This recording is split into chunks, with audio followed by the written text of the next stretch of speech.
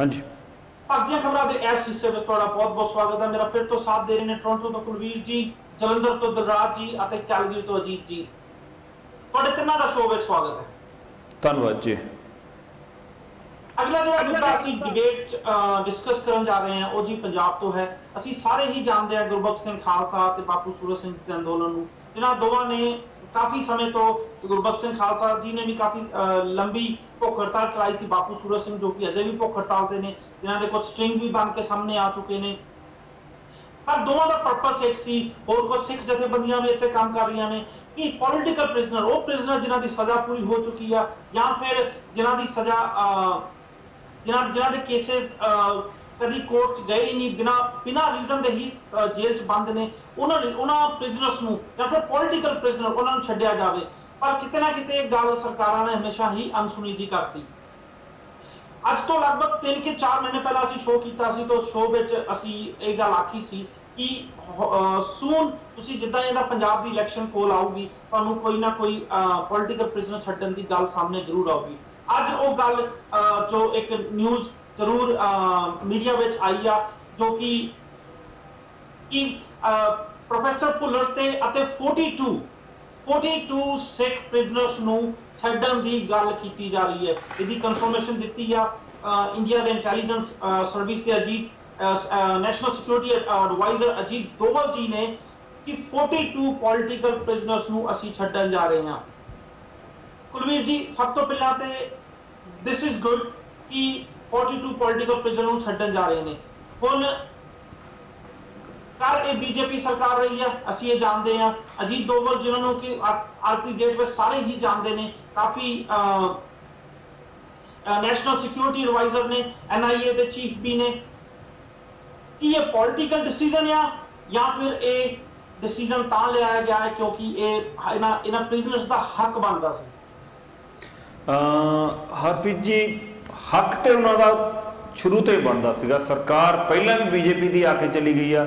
ਕਾਂਗਰਸ ਦੀਆਂ ਸਰਕਾਰਾਂ ਵੇਲੇ ਉਹ ਉਹਨਾਂ ਨੂੰ ਫੜਿਆ ਗਿਆ ਸੀਗਾ। ਉਸ ਤੋਂ ਬਾਅਦ ਬੀਜੇਪੀ ਦੀ ਵਾਜਪਾਈ ਸਾਹਿਬ ਦੀ ਸਰਕਾਰ ਆ ਕੇ ਚਲੀ ਗਈ ਆ।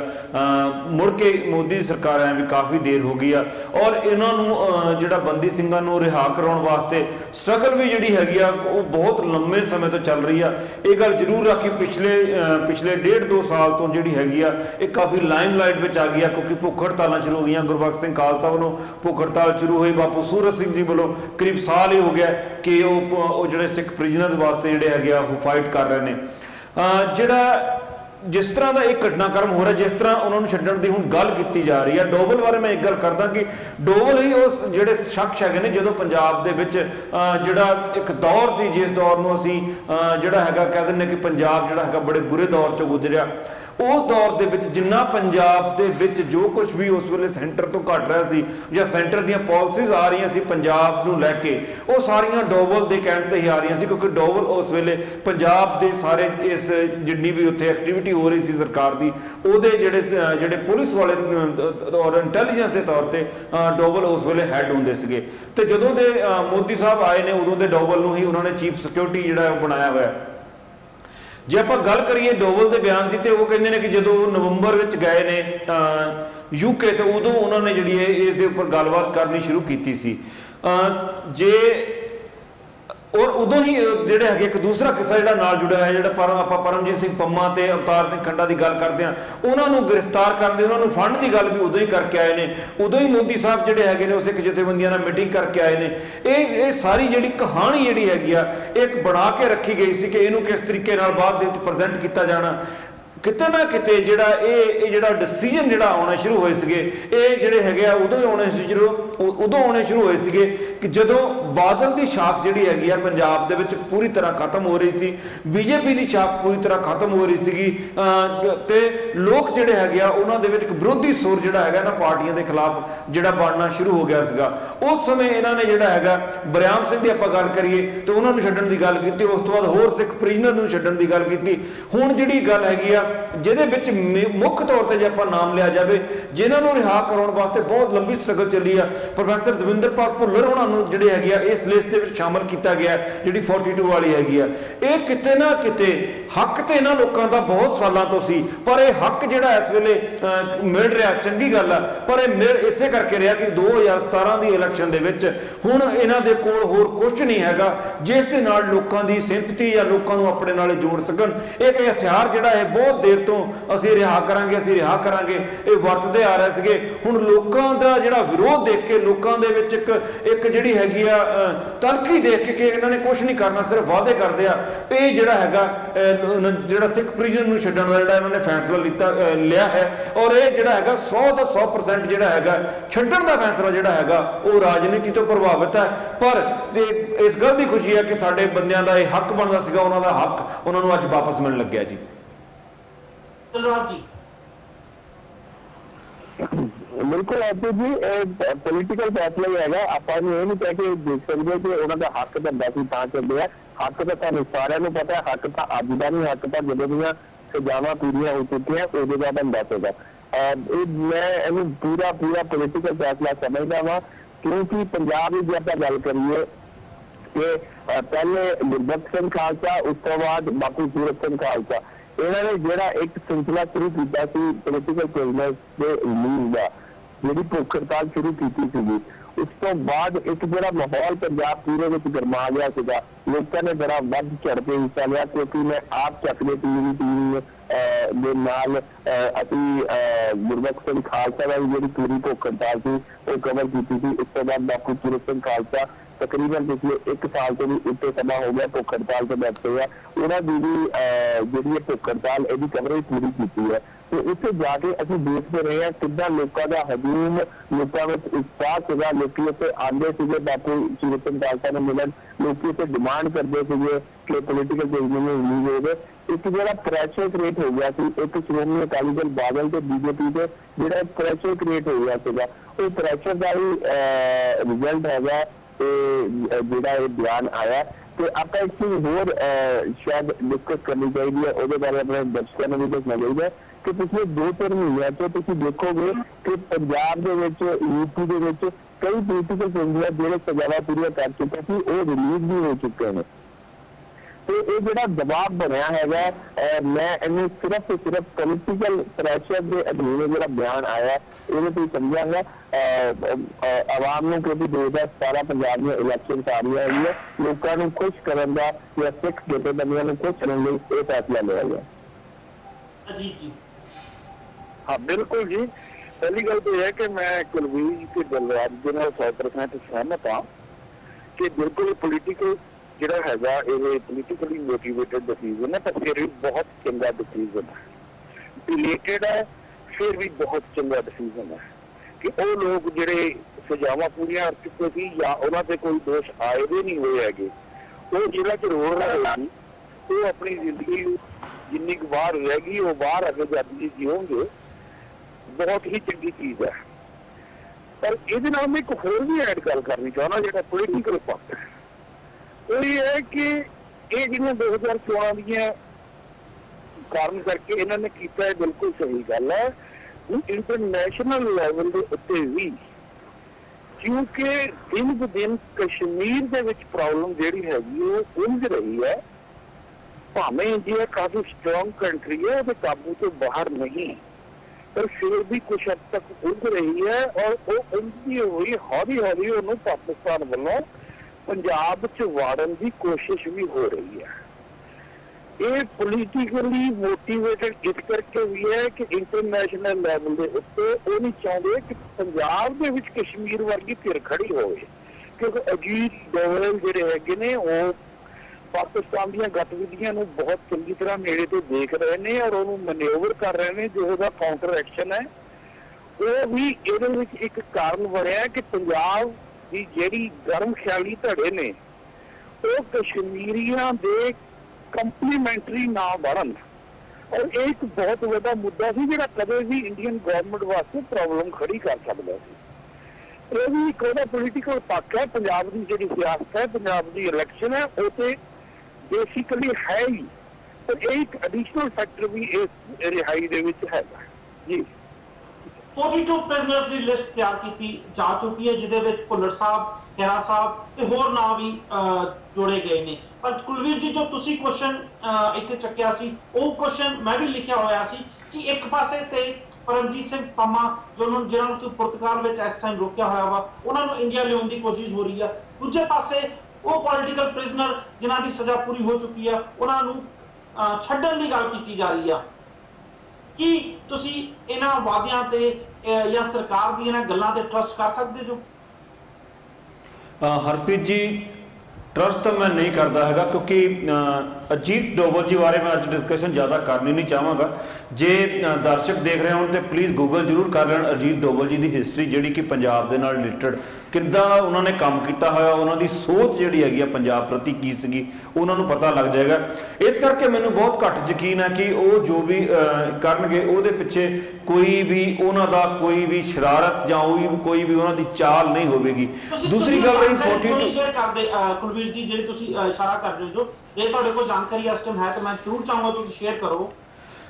ਜੇ ਬੇਸਿਕਲੀ ਜੋ ਪੰਜਾਬ ਦਾ ਘਾਣ ਉਸ ਵੇਲੇ ਕੀਤਾ ਗਿਆ, ਜਿਹੜੇ ਜਿਹੜੇ ਜਿਹਨਾਂ ਲੋਕਾਂ ਨੂੰ ਅਸੀਂ ਅੱਜ ਕੈਟ ਦੇ ਨਾਮ ਦੇ ਨਾਲ ਜਾਂ ਜਾਂ ਚਿੱਟ ਕਪੜੀਏ ਪੁਲਸੀਆਂ ਦੇ ਨਾਮ ਦੇ ਨਾਲ ਜਾਂ ਜਿਹੜੇ ਗਰੁੱਪ ਜਿਹੜੇ ਗਰੁੱਪ ਕੀ ਜਿਹੜੇ ਕੀ ਖਾਲਿਸਤਾਨੀ ਸਪੋਰਟਰ ਨਹੀਂ ਸਨ, ਪਰ ਉਹ ਉਹ ਖਾਲਿਸਤਾਨ ਦੇ ਨਾਮ ਤੇ ਜਾਂ ਉਹਨਾਂ ਉਹਨਾਂ ਵਰਗੀ ਵੇਸ਼ਭੂਸ਼ਾ ਬਣਾ ਕੇ ਪੰਜਾਬ ਦੇ ਵਿੱਚ ਹਿੰਦੂਆਂ ਨੂੰ ਮਾਰਨ ਨੂੰ ਜਾਂ ਦੂਜੀਆਂ ਕਮਿਊਨਿਟੀਆਂ ਨੂੰ ਮਾਰਨੇ ਨੂੰ ਬਣਾਏ ਗਏ ਸੀਗੇ, ਉਹਨਾਂ ਵਿੱਚ ਕਿਤੇ ਨਾ ਕਿਤੇ ਜਿਹੜੀ ਉਹਨਾਂ ਦੀ ਇਨਫੋਰਮੇਸ਼ਨ ਸੀ, ਜਿਹੜੀ ਕਿਤੇ ਨਾ ਕਿਤੇ ਪੂਰੀ ਦੀ ਪੂਰੀ ਉਹ ਜਿਹੜੀ ਜਿਹੜੀ ਇੱਕ ਗੇਮ ਚਲਾਈ ਗਈ ਸੀ। ਇੱਕ ਇੱਕ ਪੈਰਲਲ ਜਿਹੜਾ ਇੱਕ ਇੱਕ ਇੱਕ ਟੈਰਰਿਸਟ ਗਰੁੱਪ ਚਲਾਇਆ ਗਿਆ ਸੀਗਾ। ਲੋਕਾਂ ਦੇ ਵਿੱਚ ਤੇ ਜਿਹੜੇ ਜਿਹੜੇ ਸਿੱਖ ਫਾਈਟਰ ਸੀਗੇ, ਉਹਨਾਂ ਦੇ ਵਿੱਚ ਇੱਕ ਦੂਰੀ ਕ੍ਰੀਏਟ ਕਰਨ ਵਾਸਤੇ, ਇਹ ਦੋਨਾਂ ਧਰਮਾਂ ਨੂੰ ਵੰਡਣ ਵਾਸਤੇ ਉਹਦੇ ਵਿੱਚ ਅਜੀਤ ਡੋਵਲ ਜੀ ਦਾ ਕਿਤੇ ਨਾ ਕਿਤੇ ਬਹੁਤ ਵੱਡਾ ਯੋਗਦਾਨ ਹੈਗਾ।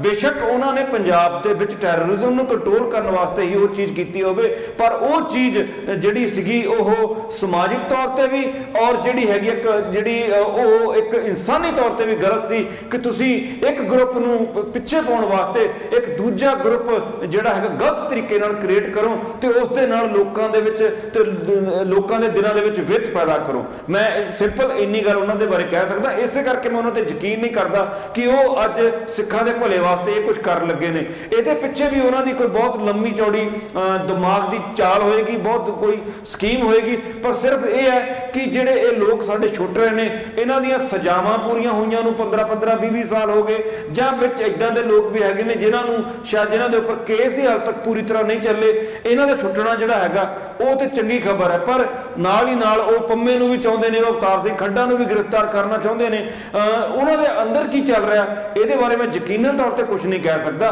ਪਰ ਪੋਲੀਟੀਕਲੀ ਉਹਨਾਂ ਦੀ ਇਸ ਵੇਲੇ ਜ਼ਰੂਰਤ ਹੋ ਸਕਦੇ ਨੇ 42 ਪ੍ਰਿਜ਼ਨਰ ਛੱਡਨੇ ਇਸ ਕਰਕੇ ਛੱਡ ਰਹੇ ਨੇ। ਪਰ ਜੇ ਉਹਨਾਂ ਦੇ ਪਿੱਛੇ ਕੋਈ ਸਿੱਖਾਂ ਦੀ ਭਲਾ ਕਰਨ ਦੀ ਜਾਂ ਸਿੱਖਾਂ ਦੇ ਲਈ ਕੋਈ ਹਮਦਰਦੀ ਜਾਗ ਗਈ ਆ, ਮੈਨੂੰ ਇਸ ਦੇ ਬਾਰੇ ਬਿਲਕੁਲ ਵੀ ਸ਼ੱਕ ਨਹੀਂ ਹੈਗਾ ਕਿ ਉਹ ਝੂਠ ਬੋਲ ਰਹੇ ਨੇ। ਉਹਨਾਂ ਦੇ ਦਿਲਾਂ ਵਿੱਚ ਕਦੀ ਵੀ ਸਿੱਖਾਂ ਪ੍ਰਤੀ ਹਮਦਰਦੀ ਜਾਂ ਦਰਦ ਨਹੀਂ ਜਾਗ ਸਕਦਾ। ਜੀ। ਮੇਰੇ ਖਿਆਲ ਨਾਲ ਉਹਨਾਂ ਨੇ ਇਹ ਵਰਡਿੰਗ ਕਿਤੇ ਵੀ ਨਹੀਂ ਯੂਜ਼ ਕੀਤੀ ਕਿ ਮੈਂ ਸਿੱਖਾਂ ਦਾ ਭਲਾ ਕਰਨਾ ਚਾਹੁੰਦਾ ਜਾਂ ਕੋਈ ਹਮਦਰਦੀ ਹੈ ਤੇ ਜੇ ਯੂਜ਼ ਕਰਦੇ ਮੈਸੇਜ ਦਿਲਰਾਜ ਜੀ ਦਿਲਰਾਜ ਜੀ ਦਿਲਰਾਜ ਜੀ ਇਸ ਗੱਲ ਦਾ ਮੈਸੇਜ 2017 ਦੀ ਇਲੈਕਸ਼ਨ 'ਚ ਉਹਨਾਂ ਨੇ ਇਹੀ ਦੇਣਾ ਆ। ਕੋਈ ਵੀ ਮੂੰਹੋਂ ਨਹੀਂ ਕਹਿੰਦਾ ਹੁੰਦਾ ਪੋਲੀਟੀਕਲ ਬੰਦਾ। ਉਹਨਾਂ ਦੇ ਉਹਨਾਂ ਦੇ ਜਿਹੜੇ ਐਕਸ਼ਨਸ ਹੁੰਦੇ ਆ ਉਹਨਾਂ ਤੋਂ ਲੋਕਾਂ ਤੱਕ ਇੱਕ ਵੇਵ ਪਹੁੰਚਾਈ ਜਾਂਦੀ ਆ। ਉਹ ਵੇਵ ਇਹੀ ਆ ਕਿ ਦੇਖੋ ਅਸੀਂ ਆ ਕੇ ਸਿੱਖ ਪ੍ਰਿਜ਼ਨਰ ਨੂੰ ਛੱਡਣ ਲੱਗੇ ਆ। ਜੀ ਇੱਕ ਚੀਜ਼ ਮੈਂ ਹੋਰ ਇੱਥੇ ਜ਼ਰੂਰ ਵਿੱਚ ਲਿਆਉਣਾ ਚਾਹੁੰਦਾ ਹਾਂ ਗੱਲਬਾਤ ਦੇ ਹੀ ਇਹ ਗੱਲ ਉਦੋਂ ਸਾਹਮਣੇ ਆ ਰਹੀ ਹੈ ਜਦੋਂ ਬੀਜੇਪੀ ਪੰਜਾਬ ਵਿੱਚ ਆਪਣੇ ਤੁਸੀਂ ਕਹਿ ਸਕਦੇ ਜੋ ਤਾਕਤ ਚੈੱਕ ਕਰਨਾ ਚਾਹੁੰਦੀ ਹੈ ਜਾਂ ਪੰਜਾਬ 'ਚ ਬੀਜੇਪੀ ਕਿੱਥੇ ਖਲੋਂਦੀ ਹੈ ਇਹ ਚੈੱਕ ਕਰਨਾ ਚਾਹੁੰਦੀ ਹੈ। ਬੀਜੇਪੀ ਸ਼੍ਰੋਮਣੀ ਅਕਾਲੀ ਦਲ ਨਾਲ ਅੱਗੇ ਵਾਸਤੇ ਰਹੂਗੀ 2017 ਦੀ ਇਲੈਕਸ਼ਨ 'ਚ ਨਾਲ ਰਹੂਗੀ ਕਿ ਬਿਲਕੁਲ। ਨਹੀਂ ਰਹੂਗੀ। ਇਹ ਨਿਊਜ਼ ਇਕੱਲੇ ਹੋ ਕੇ ਲੜਨਾ ਚਾਹੁੰਦੀ ਹੈ। ਹਾਂਜੀ? ਹਾਂਜੀ? ਇਕੱਲੇ ਹੋ ਕੇ ਬੀਜੇਪੀ ਲੜਨਾ ਚਾਹੁੰਦੀ ਹੈ ਇਸ ਵੇਲੇ ਜੋ ਖਬਰਾਂ ਆ ਰਹੀਆਂ ਜੀ। ਹਾਂਜੀ।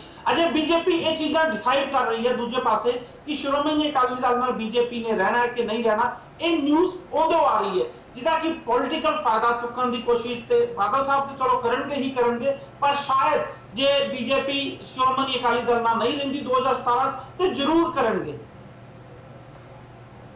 ਬਿਲਕੁਲ ਇਹਦੇ ਵਿੱਚ ਕੋਈ ਵੀ ਦੋ ਰਾਏ ਨਹੀਂ ਹੈਗੀ ਕਿ ਪੋਲੀਟੀਕਲ ਫਾਇਦਾ ਇਹਦਾ ਚੱਕਰ ਦੀ ਹਰ ਪਾਰਟੀ ਕੋਸ਼ਿਸ਼ ਕਰੇਗੀ, ਚਾਹੇ ਉਹ ਬੀਜੇਪੀ ਹੋਵੇ ਚਾਹੇ ਸ਼੍ਰੋਮਣੀ ਅਕਾਲੀ ਦਲ ਹੋਵੇ ਮੈਂ ਤਾਂ ਕਹਾਂਗਾ ਕੋਈ ਵੱਡੀ ਗੱਲ ਨਹੀਂ ਜੇ ਕਾਂਗਰਸ ਵੀ ਤਾਂ ਫਾਇਦਾ ਚੁੱਕੇ ਕਾਂਗਰਸ ਵੀ ਕਹੇ ਕਿ ਅਸੀਂ ਜਿਹੜਾ ਪ੍ਰਭਾਵ ਪਾਇਆ ਸੀਗਾ ਜਦੋਂ ਬਾਪੂ ਸੂਰਤ ਸਿੰਘ ਖਾਲਸਾ ਭੁੱਖ ਹੜਤਾਲ ਤੇ ਬੈਠੇ ਸੀ ਉਸ ਤੋਂ ਬਾਅਦ ਅਸੀਂ ਉਹਨਾਂ ਨੂੰ ਜਾ ਕੇ ਮਿਲਦੇ ਰਹੇ ਕਈ ਕਾਂਗਰਸ ਲੀਡਰ ਜਾ ਕੇ ਮਿਲੇ ਉਸ ਤੋਂ ਬਾਅਦ ਕਈ ਬਿਆਨ ਵੀ ਦਿੱਤੇ। ਜੇ ਉਹ ਵੀ ਕਹਿਣ ਤੇ ਇਹ ਹਰ ਪਾਰਟੀ ਹੀ ਅਹ, ਇਹ ਲਾਹਾ ਚੱਕਣ ਦੀ ਕੋਸ਼ਿਸ਼ ਕਰੇਗੀ ਪਰ ਜਿਹੜਾ ਸਭ ਤੋਂ ਵੱਡਾ ਲਾਹਾ ਇਹ ਗੱਲ ਦਾ ਚੱਕੇਗੀ ਉਹ ਸ਼੍ਰੋਮਣੀ ਅਕਾਲੀ ਦਲ ਬਾਦਲ ਹੋਏਗੀ। ਕਿਉਂਕਿ ਅਹ, ਆਪਾਂ ਪਿਛਲੇ ਇੱਕ ਅਹ, ਬਾਪੂ ਸੂਰਤ ਸਿੰਘ ਖਾਲਸਾ ਦੀ ਜੇ ਗੱਲ ਕਰੀਏ ਤੇ ਅਹ, ਅਹ, ਇੱਕ ਇੱਕ ਸਾਲ ਦੇ ਲਾਗੇ ਚਾਗੇ ਹੋ ਚੱਲਿਆ ਭੁੱਖ ਹੜਤਾਲ ਤੇ ਬੈਠੇ ਹੈ ਪਰ ਜਿਹੜਾ ਇੱਕ ਮਾਹੌਲ ਸਰਕਾਰ ਦੇ ਖਿਲਾਫ ਬਣਿਆ ਸੀਗਾ ਜਿਹੜਾ ਕੋਟਖੂਰਾ ਗੋਲੀ ਕਾਂਡ ਹੈ ਉਸ ਤੋਂ ਬਾਅਦ ਗੁਰੂ ਗ੍ਰੰਥ ਸਾਹਿਬ ਜੀ ਜਿਹੜੀਆਂ ਉਸ ਤੋਂ ਬਾਅਦ ਜਿਹੜੀ ਸਰਕਾਰ ਐਕਟਿਵ ਹੋਈ ਸ਼੍ਰੋਮਣੀ ਅਕਾਲੀ ਦਲ ਬਾਦਲ ਅਹ, ਜਿਹੜੇ ਅਹ, ਦਲਜੀਤ ਸਿੰਘ ਚੀਮਾ ਜੀ ਜਾਂ ਪ੍ਰੋਫੈਸਰ ਦਲਜੀਤ ਸਿੰਘ ਚੀਮਾ ਉਹ ਬਾਪੂ ਸੂਰਤ ਸਿੰਘ ਖਾਲਸਾ ਕੋਲ ਪਿਛਲੇ ਦੋ ਤਿੰਨ ਮਹੀਨਿਆਂ ਵਿੱਚ ਦੋ ਤਿੰਨ ਵਾਰ ਜਿਹੜੇ ਲਾ ਚੁੱਕੇ ਨੇ। ਉਸ ਤੋਂ ਬਾਅਦ ਕੁਝ ਪੋਲੀਟੀਕਲ ਪ੍ਰਿਜ਼ਨਰਸ ਵੀ ਰਿਲੀਜ਼ ਕਰਾਏ ਨੇ। ਯੂਪੀ ਤੋਂ ਅਹ, ਅਹ, ਰਾਮੂ ਵਾਲੇ ਜੀ ਨੇ ਇੱਕ ਪੋਲੀਟੀਕਲ ਪ੍ਰਿਜ਼ਨਰ ਰਿਲੀਜ਼ ਕਰਾਇਆ।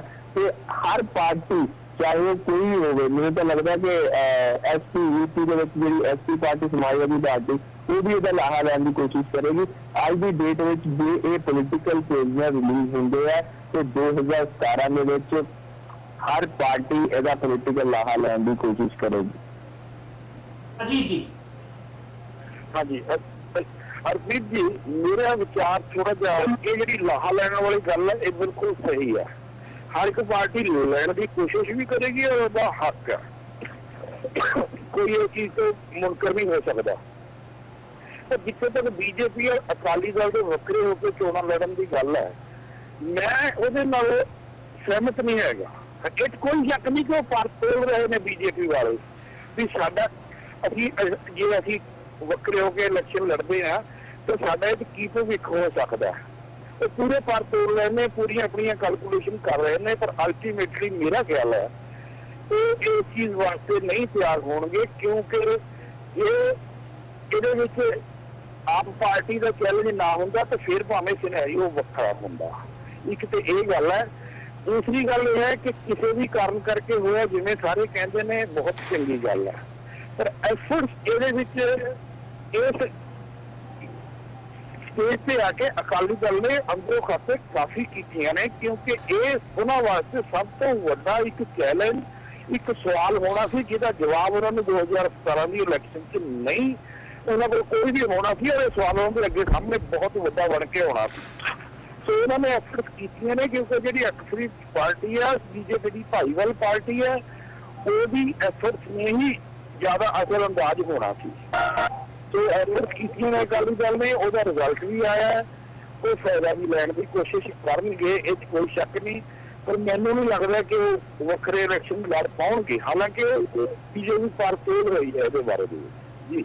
ਅਗਲਾ ਕੁਐਸਚਨ ਜੋ ਹੈ ਉਹ ਇਹ ਹੈ ਕਿ ਕੀ ਇਹ ਹੋਊਗਾ ਕਿ ਸਿਰਫ ਇਹ ਵਿਖਾਇਆ ਜਾ ਰਿਹਾ ਹੈ ਕਿ ਜਾਂ ਫਿਰ ਇਹ 42 ਪ੍ਰਿਜ਼ਨਰਸ ਨੂੰ ਛੱਡਿਆ ਵੀ ਜਾਊਗਾ?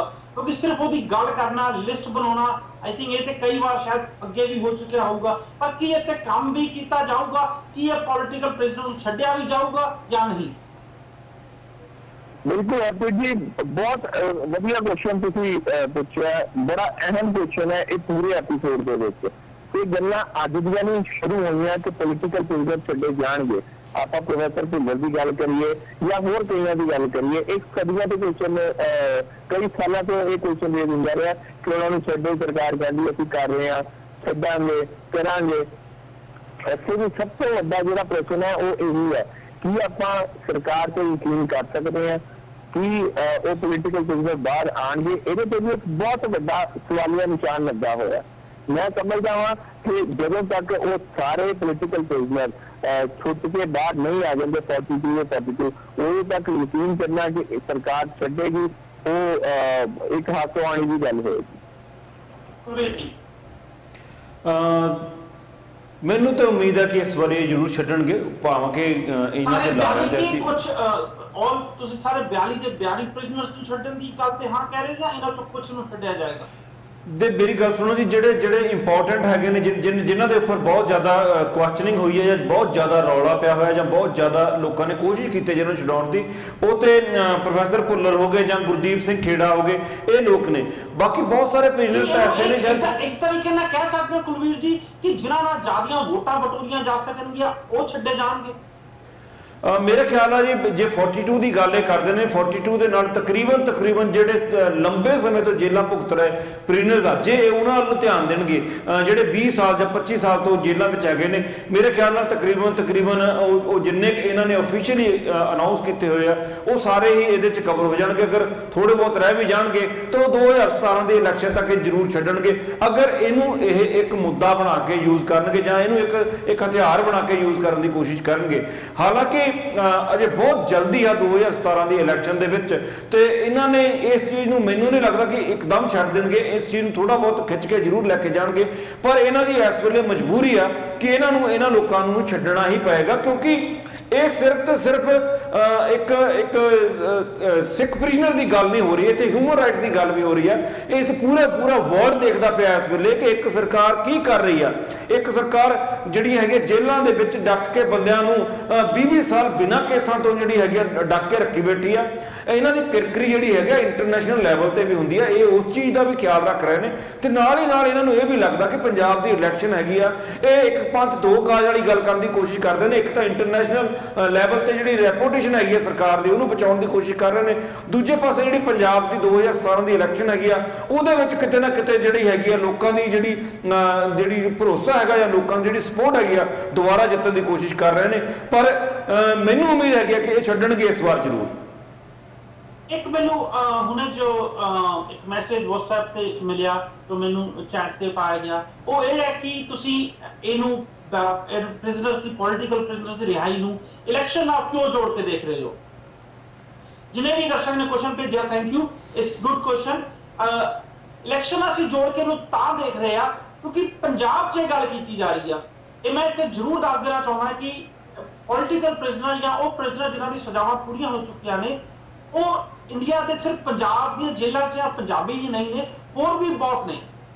ਤਾਮਿਲ ਟਾਈਗਰਸ ਦੀ ਜੇ ਗੱਲ ਕਰੀਏ, ਜਾਂ ਫਿਰ ਅਸੀਂ ਸੈਵਨ ਸਿਸਟਰਸ ਦੀ ਗੱਲ ਕਰੀਏ, ਕਾਫੀ ਜਗ੍ਹਾ ਇਦਾਂ ਦੇ ਬਿਜ਼ਨਸ ਬੰਦ ਨੇ, ਜਿਨ੍ਹਾਂ ਦੀ ਸਜ਼ਾ ਪੂਰੀਆਂ ਹੋ ਚੁੱਕੀਆਂ ਨੇ।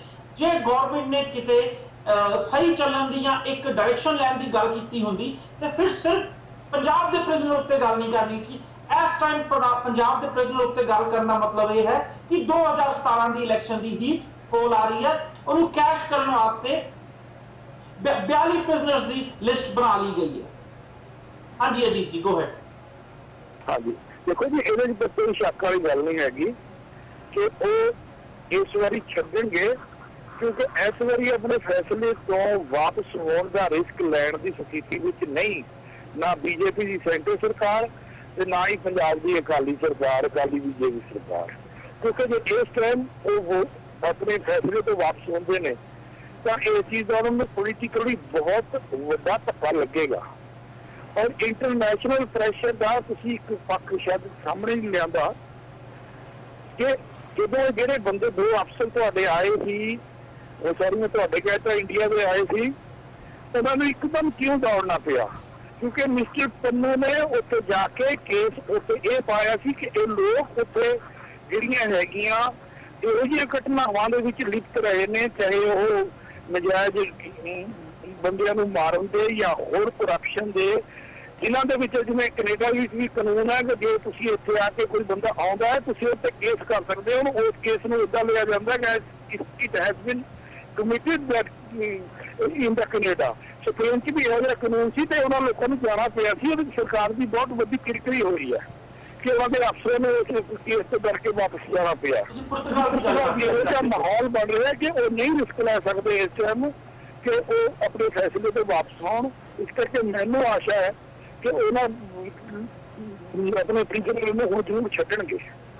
ਅਗਲੀ ਜਿਹੜੀ ਮੈਂ ਪੁਆਇੰਟ ਡਿਸਕਸ ਕਰਨਾ ਚਾਹੁੰਦਾ ਬਲੈਕ ਲਿਸਟ ਦੀ ਆ। ਅਸੀਂ ਬਲੈਕ ਲਿਸਟ ਬਾਰੇ ਤਾਂ ਕਾਫੀ ਚਿਰ ਤੋਂ ਸੁਣਦੇ ਆ ਰਹੇ ਆ। ਬਲੈਕ ਲਿਸਟ ਨਾ ਪਾਉਣਾ ਬਲੈਕ ਲਿਸਟ ਨਾ ਹਟਾਉਣਾ। ਪਰ ਹੁਣ ਇਹਦੇ ਨਾਲ 42 ਪ੍ਰਿਜ਼ਨਰਸ ਨੂੰ ਛੱਡਣ ਦੇ ਨਾਲ ਪੋਲਿਟੀਕਲ ਪ੍ਰਿਜ਼ਨਰਸ ਨੂੰ ਛੱਡਣ ਦੇ ਨਾਲ ਬਲੈਕ ਲਿਸਟ ਖਤਮ ਕਰਨ ਦੀ ਵੀ ਗੱਲ ਕੀਤੀ ਜਾ ਰਹੀ ਆ। ਉਹ ਪਰਿਵਾਰ ਜਿਨ੍ਹਾਂ ਨੂੰ ਕਈ ਸਾਲਾਂ ਤੋਂ ਵੀਜ਼ੇ ਨਹੀਂ ਦਿੱਤੇ, ਬਾਹਰ ਜਾਣ ਵਾਸਤੇ ਜਾਂ ਫਿਰ ਇੰਡੀਆ ਚੋਣ ਵਾਸਤੇ, ਉਹ ਸ਼ਾਇਦ ਹੁਣ ਆ ਜਾ ਵੀ ਸਕਣਗੇ ਜਾਂ ਕਈ ਸਾਲਾਂ ਦੇ ਬਾਅਦ ਇੱਕ ਦੂਜੇ ਨੂੰ ਮਿਲ ਵੀ ਸਕਣਗੇ, ਉਹਦੀ ਵੀ ਗੱਲ ਕੀਤੀ ਜਾ ਰਹੀ ਆ। ਇਹਨਾਂ ਸਭ ਤੇ ਚੱਲਦਾ ਹੋਏ ਕੁਲਵੀਰ ਜੀ, ਇੱਕ ਵੱਡਾ ਚੇਂਜ ਗਵਰਨਮੈਂਟ ਵੱਲੋਂ, ਇੱਕ ਕਾਫੀ ਵੱਡੇ ਚੇਂਜ ਦੀ ਗੱਲ ਕੀਤੀ ਜਾ ਰਹੀ ਆ। 42 ਪ੍ਰਿਜ਼ਨਰਸ ਦੀ ਲਿਸਟ ਬਣਾ ਲਈ, ਜਦਕਿ ਜੇ ਗੁਰਬਖਸ਼ ਸਿੰਘ ਖਾਲਸਾ ਜੀ ਦੀ ਹੜਤਾਲ ਦੀ ਗੱਲ ਕਰੀਏ, ਤੇ ਕਿੰਨੇ ਮਹੀਨੇ ਹੋ ਗਏ, ਅਜੇ ਤੱਕ ਕੋਈ ਸਟੈਪ ਨਹੀਂ ਲਿਆ। ਦਲਰਾਜ ਜੀ ਅੱਗੇ ਦੱਸ ਚੁੱਕੇ ਨੇ ਕਿ ਬਾਪੂ ਸੂਰਜ ਸਿੰਘ ਖਾਲਸਾ ਜੀ ਨੂੰ ਆਲਰੇਡੀ 1 ਸਾਲ ਤੋਂ ਉੱਤੇ ਹੋ ਗਿਆ, ਫਿਰ ਵੀ ਗਵਰਨਮੈਂਟ ਨੇ ਕੋਈ ਸਟੈਪ ਨਹੀਂ ਲਿਆ। ਪਰ ਹੁਣ 42 ਪ੍ਰਿ- ਸਿਰਫ ਯੂਕੇ ਚ ਸਿੱਖਾਂ ਦੀ ਮੀਟਿੰਗ ਦੇ ਨਾਲ 42 ਪ੍ਰਿਜ਼ਨਰਸ ਦੀ ਗੱਲ ਵੀ ਲਿਸਟ ਬਣ ਆ। ਉਸ ਤੋਂ ਬਾਅਦ ਬਲੈਕ ਲਿਸਟ ਕਰਨ ਦੀ ਵੀ ਗੱਲ ਕੀਤੀ ਜਾ ਰਹੀ ਹੈ ਕਿਤੇ ਨਾ ਕਿਤੇ ਇਟ ਇਜ਼ ਗੁੱਡ ਕਿਉਂਕਿ ਉਹ ਪਰਿਵਾਰ ਜਾਂ ਉਹ ਜਿਨ੍ਹਾਂ ਦਾ ਧੱਕਾ ਹੋਇਆ ਸੀ ਜਾਂ ਜਿਹੜੇ ਕਈ ਸਾਲਾਂ ਤੋਂ ਇੰਡੀਆ ਜਾ ਨਹੀਂ ਸਕੇ ਜਿਨ੍ਹਾਂ ਦੇ ਪਾਸਪੋਰਟ ਨਹੀਂ ਬਣ ਸਕੇ, ਵੀਜ਼ੇ ਨਹੀਂ ਲੱਗ ਸਕੇ, ਉਹਨਾਂ ਵਾਸਤੇ ਹੁਣ ਕਿਤੇ ਨਾ ਕਿਤੇ ਰਾਹ ਜ਼ਰੂਰ ਖੁੱਲ ਜਾਣਗੇ। ਕੁਲਵੀਰ ਜੀ। ਪਹਿਲੀ ਗੱਲ ਤਾਂ ਜੀ, ਪੰਜਾਬ ਦੇ ਵਿੱਚ ਪੰਜਾਬ ਦੇ ਪ੍ਰਿਜ਼ਨਰਸ ਦੀ ਗੱਲ ਪੰਜਾਬ ਦੇ ਵਿੱਚ ਨਾ ਕਰਕੇ ਪੰਜਾਬ ਦੇ ਵਿੱਚ ਜਿਹੜੇ ਸੰਘਰਸ਼ੀਲ ਲੋਕ ਹੈਗੇ ਨੇ ਉਹਨਾਂ ਨੂੰ ਰਿਹਾ ਕਰਾਉਣ ਵਾਸਤੇ ਉਹਨਾਂ ਨਾਲ ਉਹਨਾਂ ਦੀ ਗੱਲ ਨਾ ਕਰਕੇ ਜਾਂ ਜਿਹੜੀਆਂ ਧਾਰਮਿਕ ਜਥੇਬੰਦੀਆਂ ਜਾਂ ਜਿਹੜੀਆਂ ਆਰਗੇਨਾਈਜੇਸ਼ਨ ਪੰਜਾਬ 'ਚ ਇੰਨੀ ਦੇਰ ਤੋਂ ਅ, ਜੁਟੀਆਂ ਹੋਈਆਂ ਨੇ ਇਹਨਾਂ ਨੂੰ ਰਿਹਾ ਕਰਾਉਣ ਵਾਸਤੇ ਉਹਨਾਂ ਨਾਲ ਗੱਲ ਨਾ ਕਰਕੇ ਯੂਕੇ ਜਾ ਕੇ ਇੱਕ ਆਰਗੇਨਾਈਜੇਸ਼ਨ ਨਾਲ ਗੱਲ ਕਰਕੇ ਇਹੋ ਜਿਹੇ ਫੈਸਲੇ ਲੈ ਜਾਂਦੇ ਨੇ। ਇੱਥੋਂ ਹੀ ਤੁਸੀਂ ਹਿਸਾਬ ਲਾ ਲਓ ਕਿ ਉਹ ਪੰਜਾਬ ਦੇ ਪ੍ਰਤੀ ਸੰਵੇਦਨਸ਼ੀਲ ਨੇ ਜਾਂ ਉਹ ਕਿਸੇ ਹੋਰ ਗੱਲ ਨੂੰ, ਕਿਸੇ ਹੋਰ ਹਿੱਤ ਨੂੰ ਲੈ ਕੇ ਇਹ ਸਾਰੀ ਗੱਲਬਾਤ ਕਰ ਰਹੇ ਨੇ। ਤੁਸੀਂ ਗੱਲ ਕੀਤੀ ਹੈ ਬਲੈਕ ਲਿਸਟ ਦੀ। ਬਲੈਕ ਲਿਸਟ ਦੀ ਜਿਹੜੀ ਖਤਮ ਕਰਨ ਦੀ ਗੱਲ ਹੈਗੀ ਆ, ਇਹ ਪਿਛਲੀਆਂ ਸਰਕਾਰਾਂ ਵੀ ਜਿਸ ਤਰ੍ਹਾਂ ਇਹਨਾਂ ਨੂੰ ਛੱਡਣ ਦੀ ਗੱਲ ਹੈ, ਇਸ ਤਰ੍ਹਾਂ ਉਹਦੀ ਜਿਹੜੀ ਹੈ ਕਾਂਗਰਸ ਸਰਕਾਰ ਵੀ ਰੌਲੀ ਪਾ ਚੁੱਕੀ ਆ, ਬੀਜੇਪੀ ਵੀ ਰੌਲੀ ਪਾ ਚੁੱਕੀ ਆ। ਜੇ ਇਹਨਾਂ ਨੇ ਬਲੈਕ ਲਿਸਟ ਖਤਮ ਹੀ ਕਰਨੀ ਸੀ ਤਾਂ ਫਿਰ ਪਰਮਜੀਤ ਪੰਮਾ ਤੇ ਮੈਂ ਫਿਰ ਉੱਥੇ ਆਵਾਂਗਾ ਕਿਤੇ ਇੱਕ ਅਵਤਾਰ ਸਿੰਘ ਖੰਡਾ ਨੂੰ ਦੁਬਾਰਾ, ਉਹ ਤੇ ਬਲੈਕ ਲਿਸਟ ਦੇ ਵਿੱਚ ਵੀ ਨਹੀਂ ਸੀਗੇ। ਉਹਨਾਂ ਨੂੰ ਫਿਰ ਫੜਨ ਦੀ ਗੱਲ ਕਿਉਂ ਕਰਦੇ ਨੇ? ਜਾਂ ਇਸ ਤਰ੍ਹਾਂ ਦੀਆਂ ਹੋਰ ਇਹੋ ਜਿਹੇ ਕੁਐਸਚਨ ਜਿਹੜੇ ਹੈਗੇ ਨੇ, ਉਹ ਕਿਉਂ ਕਰਦੇ ਨੇ? ਉਹ ਇਹ ਕਰ ਕਿਉਂ ਕਰਦੇ ਨੇ ਉੱਥੇ ਜਾ ਕੇ ਕਿ ਇੰਗਲੈਂਡ ਦੇ ਗੁਰਦੁਆਰਿਆਂ ਦੇ ਵਿੱਚ ਜਿਹੜੀ ਹੈਗੀ ਆ, ਉਹ ਟੈਰਰਿਜ਼ਮ ਦੀ ਸਿਖਲਾਈ ਦਿੱਤੀ ਜਾਂਦੀ ਆ, ਉਹ ਦੇਸ਼ ਨੂੰ ਤੋੜਨ ਦੀ ਸਿਖਲਾਈ ਦਿੱਤੀ ਜਾਂਦੀ ਆ। ਫਿਰ ਇਹ ਗੱਲਾਂ ਕਿੱਥੋਂ ਕਰਦੇ ਨੇ? ਇਹਦੇ ਦੋ ਪਾਸੇ ਇੱਕ ਇੱਕੋ ਲੀਡਰ ਇੱਕੋ ਬੰਦਾ ਦੋ ਪਾਸੇ ਦੀਆਂ ਗੱਲਾਂ ਕਿੱਦਾਂ ਕਰ ਸਕਦਾ? ਇੱਕ ਪਾਸੇ ਕਹਿੰਦਾ ਮੈਂ ਇਹਨਾਂ ਨੂੰ ਰਿਹਾ ਕਰ ਰਿਹਾ, ਇਹਨਾਂ ਦੀ ਬਲੈਕਲਿਸਟ ਖਤਮ ਕਰ ਰਿਹਾ। ਦੂਜੇ ਪਾਸੇ ਕਹਿੰਦਾ ਮੈਨੂੰ ਆ ਆ ਬੰਦੇ ਚਾਹੀਦੇ ਨੇ। ਆ ਤੁਹਾਡੇ ਇਹ ਜਿਹੜੇ ਸਿੱਖਾਂ ਦੇ ਗੁਰਦੁਆਰੇ ਹੈਗੇ, ਉਹਨਾਂ ਦੇ ਵਿੱਚ ਟੈਰਰਿਜ਼ਮ ਦੀ ਸਿਖਲਾਈ ਦਿੱਤੀ ਜਾਂਦੀ ਆ। ਇਹ ਦੋਨੋਂ ਗੱਲਾਂ ਕਿਤੇ ਮੈਚ ਨਹੀਂ ਕਰਦੀਆਂ। ਇਹ ਇੱਕ ਪ੍ਰੋਪੋਗੰਡੇ ਤੋਂ ਜ਼ਿਆਦਾ ਕੁਝ ਨਹੀਂ ਲੱਗਦਾ। ਪਰ ਫਾਇਦੇ ਦੀ ਗੱਲ ਇਹ ਆ ਕਿ ਜੇ ਇਸ ਪ੍ਰੋਪੋਗੰਡੇ ਦੇ ਵਿੱਚ ਫਸ ਕੇ ਆਪ ਹੀ ਬੀਜੇਪੀ ਸਰਕਾਰ ਨੂੰ ਕਿਤੇ ਜਿਹੜੀ ਹੈਗੀ ਬਲੈਕ ਲਿਸਟ ਖਤਮ ਕਰਨੀ ਪੈਂਦੀ ਹੈ ਜਾਂ ਜਿਹੜੇ ਸਾਡੇ 42 ਜਾਂ ਇਸ ਤੋਂ ਜ਼ਿਆਦਾ ਜਿਹੜੇ ਸਾਡੇ ਪ੍ਰੀਨਰਸ ਹੈਗੇ, ਉਹਨਾਂ ਨੂੰ ਛੱਡਣਾ ਪੈਂਦਾ ਹੈ ਤੇ ਉਹ ਸਾਡੇ ਹੱਕ ਦੀ ਗੱਲ ਜ਼ਰੂਰ ਹੈਗੀ ਆ। ਪਰ ਇਹਨਾਂ ਦੇ ਦਿਮਾਗਾਂ ਦੇ ਪਿੱਛੇ ਕੀ ਚੱਲ ਰਿਹਾ, ਤੁਸੀਂ ਕੁਝ ਨਹੀਂ ਜਾਣ ਸਕਦੇ, ਕਿਉਂਕਿ ਡੋਵਲ ਦੀ ਮੈਂ ਇੱਕ ਗੱਲ ਦੱਸੀ ਸੀ, ਡੋਵਲ ਦੀ ਮੈਂ ਦੂਸਰੀ ਗੱਲ ਵੀ ਦੱਸ ਦਿੰਨਾ। ਜਦੋਂ ਹਰਮੰਦਰ ਸਾਹਿਬ ਦੇ ਉੱਪਰ ਬਲੂ ਸਟਾਰ ਦਾ ਐਕਸ਼ਨ ਹੋਇਆ ਸੀਗਾ, ਅਜੀਤ ਡੋਵਲ ਇੱਕ ਉਹ ਸ਼ਖਸ ਸੀ ਜੋ ਭਾਰਤ ਦੀ ਸਰਕਾਰ ਵੱਲੋਂ ਜਿਹੜਾ ਗੁਰਦੁਆਰੇ ਦੇ ਵਿੱਚ ਜਾ ਕੇ ਕਾਫੀ ਦਿਨ ਅਟੈਕ ਕਰਨ ਤੋਂ ਪਹਿਲਾਂ ਰਿਹਾ ਸੀ, ਜਿਹਨੇ ਅੰਦਰ ਦਾ ਸਾਰਾ ਜਾਇਜ਼ਾ ਲਿਆ ਸੀ ਤੇ ਇੱਕ ਪਾਕਿਸਤਾਨੀ ਜਿਹੜਾ ਹੈਗਾ ਸਪਾਈ ਦਾ ਰੂਪ ਧਾਰ ਕੇ ਉਹ ਜਾ ਕੇ ਅੰਦਰ ਦੀ ਸਾਰੀ ਜਿਹੜੀ ਹੈਗੀ ਆ, ਉਹਨੇ ਰੂਪਰੇਖਾ ਦੇਖੀ ਸੀ ਔਰ ਜਿਹੜਾ 골ਡਨ ਟੈਂਪਲ ਉੱਪਰ ਬਲੂ ਸਟਾਰ ਦਾ ਜਿਹੜਾ ਜਿਹੜਾ ਆਪਾਂ ਅਟੈਕ ਹੋਇਆ, ਉਹਦੀ ਜਿਹੜੀ ਸਾਰੀ ਦੀ ਸਾਰੀ ਜਿਹੜੀ ਰੂਪਰੇਖਾ ਤਿਆਰ ਕੀਤੀ ਸੀ, ਸਾਰਾ ਜਿਹੜਾ ਕੰਟਰੋਲ ਸੀਗਾ ਜਿੰਨਾ ਅੰਦਰੋਂ ਜਿਹੜਾ ਕੀਤਾ ਸੀਗਾ, ਉਹ ਮਿਸਟਰ ਡੋਵਲ ਨੇ ਹੀ ਕੀਤਾ ਸੀਗਾ, ਇਸ ਕਰਕੇ ਮੈਂ ਮਿਸਟਰ ਡੋਵਲ ਦੇ ਕਿਸੇ ਵੀ ਬਿਆਨ ਦੇ ਉੱਪਰ ਜਾਂ ਮੋਦੀ ਕਿਉਂਕਿ ਮਿਸਟਰ ਡੋਵਲ ਦੇ ਜਿਹੜੇ ਸਿਕਿਉਰਿਟੀ ਵਾਲੇ ਫੰਡੇ ਹੈਗੇ, ਉਹਨਾਂ ਉੱਪਰ ਚੱਲਦੇ, ਉਹਨਾਂ ਦੇ ਉੱਪਰ ਬਹੁਤਾ ਯਕੀਨ ਨਹੀਂ ਕਰਦਾ। ਇਹਦੇ ਪਿੱਛੇ ਵੀ ਕੋਈ ਬਹੁਤ ਵੱਡੀ ਸਾਜ਼ਿਸ਼ ਜਾਂ ਬਹੁਤ ਵੱਡਾ ਦਿਮਾਗ ਲੱਗਿਆ ਹੋਇਆ। ਸਿਰਫ ਜਿਹੜੇ ਇਸ ਗੱਲਾਂ ਵਿੱਚੋਂ ਚੰਗੀ ਗੱਲ ਇੰਨੀ ਹੀ ਹੈ ਕਿ ਜੇ ਬਲੈਕ ਰੇਸ ਵਾਕਿਆ ਹੀ ਖਤਮ ਹੋ ਜਾਂਦੀ ਹੈ, ਤੇ ਸਾਡੀਆਂ ਕੁਝ ਜਿਹੜੀਆਂ ਫੈਮਲੀਆਂ ਹੈਗੀਆਂ, ਉਹਨਾਂ ਨੂੰ ਇੱਕ ਰਾਹਤ ਮਿਲੇਗੀ। ਤੇ ਜੇ ਪ੍ਰੀਨਰਸ ਜਿਹੜੇ ਹੈਗੇ ਆ, ਉਹ ਛੁੱਟ ਜਾਂਦੇ ਨੇ ਤੇ ਐਟ ਲੀਸਟ ਉਹ ਜ਼ਿੰਦਗੀ ਦਾ ਕੁਝ ਹਿੱਸਾ ਜਿਹੜਾ ਹੈਗਾ, ਉਹ ਆਜ਼ਾਦੀ ਵਿੱਚ ਕੱਟ ਸਕਣਗੇ। ਜੇ ਅਜੀਤ ਦੋਵਲ ਦੀ ਗੱਲ ਕਰੀਏ ਤੇ ਕੁਲਵੀਰ ਜੀ ਸ਼ਾਇਦ ਕਾਫੀ ਲੋਕਾਂ ਨੂੰ ਸੁਣ ਕੇ ਹਾਨੀ ਹੋਗੀ ਕਿ ਪਾਕਿਸਤਾਨ ਦੇ ਵਿੱਚ ਮੁਸਲਮਾਨ ਬਣ ਕੇ 7 ਸਾਲ ਉੱਥੇ ਰਹਿ ਚੁੱਕੇ ਨੇ ਤੇ ਕਾਫੀ ਜੇ ਇੰਟੈਲੀਜੈਂਸ ਸਰਵਿਸਿਜ਼ ਗੱਲ ਕਰੀਏ ਤੇ ਜਿੱਦਾਂ ਤੁਸੀਂ ਕੁਝ ਗੱਲਾਂ ਦੱਸਿਆ ਵੀ ਕਾਫੀ ਭੂਮਿਕਾ ਉਹਨਾਂ ਨੇ ਕਾਫੀ ਹੋਰ ਰੋਲ ਨਿਭਾਏ ਨੇ। ਪਰ ਮੈਂ ਵਾਪਸ ਡਿਬੇਟ ਤੇ ਆਉਣਾ ਚਾਹੂੰਗਾ।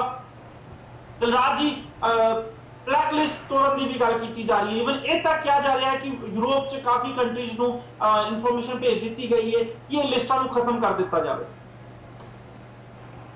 ਸਰਪ੍ਰੀਤ ਜੀ, ਜੇ ਇਹ ਬਿਆਨ ਤੇ ਮਤਲਬ ਪੋਜ਼ਿਟਿਵ ਹੁੰਦਾ ਹੈ ਇਦਾਂ ਕਾਲੀ ਸੂਚੀ ਜਿਹੜੀ ਹੈਗੀ ਹੈ ਉਹਨੂੰ ਫਾੜਨ ਦੀ ਜਾਂ ਖਤਮ ਕਰਨ ਦੀ ਗੱਲਾਂ ਤੇ ਅਮਲੀ ਜਾਮਾ ਬਣਾਇਆ ਜਾਂਦਾ ਹੈ, ਤੇ ਇਸ ਤੋਂ ਚੰਗੀ ਗੱਲ ਕੁਝ ਨਹੀਂ ਹੋ ਸਕਦੀ।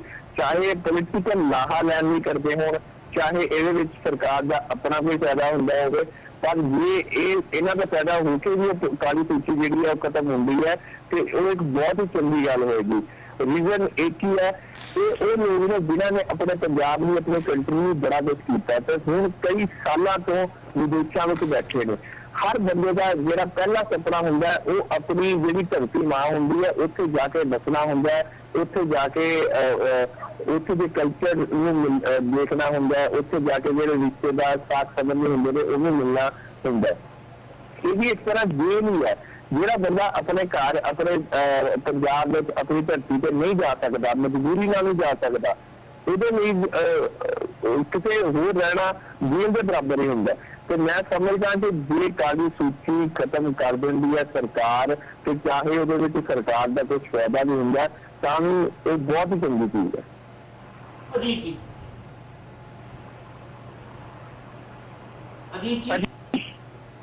ਮੈਨੂੰ ਲੱਗਦਾ ਕਿ ਅਜੀਤ ਜੀ ਦੀ ਅਹ, ਅਹ, ਅਜੀਤ ਜੀ ਮੈਨੂੰ ਸੁਣ ਨਹੀਂ ਪਾ ਰਿਹਾ ਪਰ ਇੱਕ ਜੋ ਹੋਰ ਗੱਲ ਇੱਥੇ ਡਿਸਕਸ ਕਰਨਾ ਚਾਹੂੰਗਾ ਜੇ ਸਰਕਾਰ ਇਸ ਪਾਸੇ ਤੁਰ ਹੀ ਪਈ ਆ ਤੇ ਜੋ ਇੰਟਰਪੋਲ ਚ ਰੈੱਡ ਅਲਰਟ ਜਾਰੀ ਕੀਤਾ ਸੀ ਅਲਰਟ ਜਾਰੀ ਕੀਤਾ ਸੀ ਪਰਮਜੀਤ ਸਿੰਘ ਪਮਾ ਬਾਰੇ ਉਹਨੂੰ ਖਤਮ ਕਰਕੇ ਪੁਰਤਗਾਲ ਵਾਲਾ ਮੈਟਰ ਤੇ ਰਾਈਟ ਵੇ ਖਤਮ ਕਰ ਸਕਦੀ ਹੈ ਕਿ ਪੁਰਤਗਾਲ ਵਾਲਾ ਮੈਟਰ ਤੇ ਜਿੱਦਾਂ ਸਰਕਾਰ ਕੰਮ ਕਰ ਰਹੀ ਹੈ, ਜੋ ਰਵੱਈਆ ਸਰਕਾਰ ਨੇ ਉੱਤੇ ਅਪਣਾਇਆ ਹੋਇਆ ਹੈ, ਉਹ ਜਾਇਜ਼ ਆ। ਕੁਲਵੀਰ ਜੀ।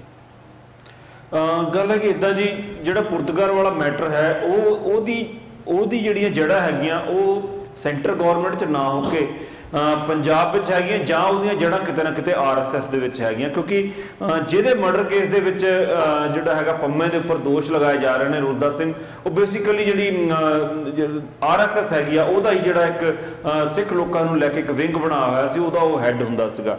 ਜੇ ਆਪਾਂ ਬੀਜੇਪੀ ਨੂੰ ਕਿਸੇ ਤਰੀਕੇ ਨਾਲ ਇਹਦੇ ਨਾਲ ਕੋਰਿਲੇਟ ਕਰਕੇ ਜਾਂ ਰਿਲੇਟ ਕਰਕੇ ਦੇਖਣਾ ਚਾਹੀਏ, ਪਰ ਜਿਹੜਾ ਜ਼ਿਆਦਾਤਰ ਜਿਹੜਾ ਹੈਗਾ ਉਹ ਵਾਲਾ ਕਿੱਸਾ ਹੈਗਾ, ਉਹ ਇਸ ਤਰ੍ਹਾਂ ਲੱਗਦਾ ਕਿ ਜਿਸ ਤਰ੍ਹਾਂ ਪੰਜਾਬ ਦੇ ਅਫੀਸ਼ੀਅਲਸ ਹੈਗੇ ਨੇ ਜਾਂ ਪੰਜਾਬ ਸਰਕਾਰ ਜਿਹੜੀ ਕਿ ਇਹਨਾਂ ਦੀ ਭਾਈਵਾਲ ਸਰਕਾਰ ਹੈਗੀ ਆ ਬੀਜੇਪੀ ਦੀ, ਉਹਨਾਂ ਵੱਲੋਂ ਜਿਹੜਾ ਹੈਗਾ ਉਹ ਪਰਮਜੀਤ ਪੰਮੇ ਦੇ ਉੱਪਰ ਨੂੰ ਲੈ ਕੇ ਜਿਹੜਾ ਹੈਗਾ ਉਹ ਜਿਹੜਾ ਕੋਈ ਕੋਈ ਚੀਜ਼ਾਂ ਹੈਗੀਆਂ ਨੇ ਕਿ ਉਹ ਪਰਮਜੀਤ ਪੰਮੇ ਨੂੰ ਪੰਜਾਬ ਲਿਆਉਣਾ ਚਾਹੁੰਦੇ ਨੇ। ਬੇਸ਼ੱਕ ਕਿ ਜਿਹੜੇ ਕੇਸ ਦੇ ਵਿੱਚ ਪਰਮਜੀਤ ਪੰਮੇ ਨੂੰ ਇਨਵੋਲਵ ਕਰਨ ਦੀ ਕੋਸ਼ਿਸ਼ ਕਰ ਰਹੇ ਨੇ, ਜਿਨ੍ਹਾਂ ਦੇ ਉੱਪਰ ਸਿੱਧੇ ਇਲਜ਼ਾਮ ਲੱਗੇ ਸੀ ਮਰਡਰ ਦੇ, ਉਹ ਸਾਰੇ ਬ- ਬੰਦੇ ਜਿਹੜੇ ਹੈਗੇ ਆ, ਉਹ ਬਰੀ ਹੋ ਚੁੱਕੇ ਨੇ, ਉਹਨਾਂ ਦੇ ਖਿਲਾਫ ਕੋਈ ਪ੍ਰੂਫ ਨਹੀਂ ਸੀਗੇ। ਪਰਮਜੀਤ ਪੰਮਾ ਦੇ ਉੱਪਰ ਜਿਹੜਾ ਹੈਗਾ ਉਹ ਕੌਣ ਜਿਹੜਾ ਹੈਗਾ ਕਨਸਪੀਰੇਸੀ ਦਾ ਇਲਜ਼ਾਮ ਲਗਾ ਕੇ ਉਹਨੂੰ ਉੱਥੇ ਲਿਜਾਣਾ ਚਾਹੁੰਦੇ ਨੇ। ਉਹਦਾ ਰੀਜ਼ਨ ਜਿਹੜਾ ਹੈਗਾ ਮੈਂ ਨਹੀਂ ਦੱਸ ਸਕਦਾ ਕਿ ਉਹਦੇ ਪਿੱਛੇ ਕੀ ਰੀਜ਼ਨ ਹੋ ਸਕਦਾ। ਕਿਸੇ ਦਾ ਹੋ ਸਕਦਾ ਕਿਸੇ ਸਰਕਾਰ ਦਾ ਜਾਂ ਕਿਸੇ ਪੁਲਿਸ ਆਫੀਸ਼ੀਅਲ ਦਾ ਜਾਤੀ ਰੀਜ਼ਨ ਵੀ ਹੋਵੇ। ਪਰ ਜਿਹੜੀ ਮੈਂ ਪਹਿਲਾਂ ਵੀ ਕਿਹਾ ਕਿ ਜਿਹੜੀ ਇਹ ਦੋਗਲੀ ਨੀਤੀ ਹੈਗੀ ਆ ਇਹ ਸਮਝ ਵਿੱਚ ਨਹੀਂ ਆਉਂਦੀ ਸੈਂਟਰ ਗਵਰਨਮੈਂਟ ਦੀ। ਇੱਕ ਪਾਸੇ ਤਾਂ ਕਾਲੀਆਂ ਸੂਚੀਆਂ ਖਤਮ ਕਰਦੇ ਆ ਬੰਦੀਆਂ ਨੂੰ ਰਿਹਾ ਕਰਦੇ ਆ। ਦੂਜੇ ਪਾਸੇ ਇੱਕ ਵਿਦੋਸ਼ੇ ਬੰਦੇ ਨੂੰ ਜਿਹੜਾ ਕਿ ਇੰਨੇ ਸਾਲਾਂ ਤੋਂ ਕਿਸੇ ਹੋਰ ਕੰਟਰੀ ਦੇ ਵਿੱਚ ਰਹਿ ਰਿਹਾ ਤੇ ਉਹਦੀ ਕਿਸੇ ਅ, ਉਹਨੇ ਤੁਹਾਡੀ ਕੰਟਰੀ ਵਿਜ਼ਿਟ ਵੀ ਨਹੀਂ ਕੀਤੀ, ਉਹਦੀ ਕਿਤੇ ਇਨਵੋਲਵਮੈਂਟ ਵੀ ਨਹੀਂ ਹੈਗੀ, ਉਹਨੂੰ ਜਿਹੜਾ ਹੈਗਾ ਕਿਸੇ ਹੋਰ ਕੰਟਰੀ ਦੇ ਵਿੱਚੋਂ ਰੈੱਡ ਅਲਰਟ ਕਰਕੇ ਉਹਨੂੰ ਚੱਕ ਕੇ ਇੰਡੀਆ ਲਿਜਾਣ ਦੀ ਕੋਸ਼ਿਸ਼ ਕਰ ਰਿਹਾ। ਇਹ ਕਿਤੇ ਨਾ ਕਿਤੇ ਇਹ ਕਨ- ਜਿਹੜੀ ਇਹਨਾਂ ਦੀ ਸਿਚੁਏਸ਼ਨ ਹੈਗੀ ਆ, ਉਹ ਉਹ ਆਪਣੇ ਆਪ ਦੇ ਵਿੱਚ ਹੀ ਇਹ ਦੋ ਦੋ ਪਾਸਿਆਂ ਨੂੰ ਜਾਂਦੀ ਪਈ ਆ। ਔਰ ਦੂਸਰੀ ਗੱਲ ਆ, ਜੇ ਜੇ ਸਰਕਾਰ ਚਾਹਵੇ ਤੇ ਪੰਮੇ ਦੇ ਕੇਸ ਦੇ ਵਿੱਚ ਉਹਦੇ ਕੋਲ ਕੁਝ ਹੈ ਵੀ ਨਹੀਂ ਹੈਗਾ ਸੈਂਟਰ ਗਵਰਨਮੈਂਟ ਇਹਨੂੰ ਡਿਨਾਈ ਵੀ ਕਰ ਸਕਦੀ ਸੀ, ਜੇ ਜੇ ਉਹ ਪੰਮੇ ਨੂੰ ਜਿਹੜਾ ਪੰਜਾਬ ਬੁਲਾਉਣ ਦਾ ਜਿਹੜਾ ਕੇਸ ਹੈਗਾ, ਜਿਹੜਾ ਜੇ ਪੰਜਾਬ ਅਫੀਸ਼ੀਅਲ ਤੇ ਪੰਜਾਬ ਪੁਲਿਸ ਨੇ ਵੀ ਪੁੱਟ ਅਪ ਕੀਤਾ ਸੀਗਾ। ਪਰ ਸੈਂਟਰ ਗਵਰਨਮੈਂਟ ਇਸ ਤਰ੍ਹਾਂ ਨਹੀਂ ਕਰ ਰਹੀ। ਇਸ ਕਰਕੇ ਇਹਨਾਂ ਦੀ ਹਰ ਕਾਰਵਾਈ ਜਿਹੜੀ ਹੈਗੀ ਆ ਉਹਦੇ ਉੱਪਰ ਜਿਹੜੀ ਸ਼ੱਕ ਦੀ ਸੂਈ ਚੱਲੀ ਜਾਂਦੀ ਆ। ਕਿਉਂਕਿ ਪੰਮੇ ਨੂੰ ਪੰਜਾਬ ਲਿਜਾਣ ਵਿੱਚ ਇਹਨਾਂ ਦਾ ਕੀ ਸਵਾਰਥ ਹੈ ਉਹ ਅੱਜ ਤੱਕ ਸਾਡੇ ਤੇ ਸਮਝ ਨਹੀਂ ਆਇਆ ਜੀ। ਤੇ ਰਾਜੀ ਜੀ ਲੋਇਡ ਜੀ? ਅਹ ਬਿਲਕੁਲ ਕਿ ਇੱਕ ਪਾਸੇ ਤਾਂ ਕਾਲੀ ਸੂਚੀ ਖਤਮ ਕਰਨ ਦੀ ਗੱਲ ਹੁੰਦੀ ਪਈ ਹੈ, ਦੂਜੇ ਪਾਸੇ ਪਰਮਜੀਤ ਸਿੰਘ ਸੰਮੇ ਨੂੰ ਦੇਸ਼ ਕੇ ਵਾਪਸ ਇੰਟਰਪੋਲ ਦੇ ਥਰੂ ਲਿਆਉਣ ਦੀ ਕੋਸ਼ਿਸ਼ ਚੱਲਦੀ ਪਈ ਹੈ।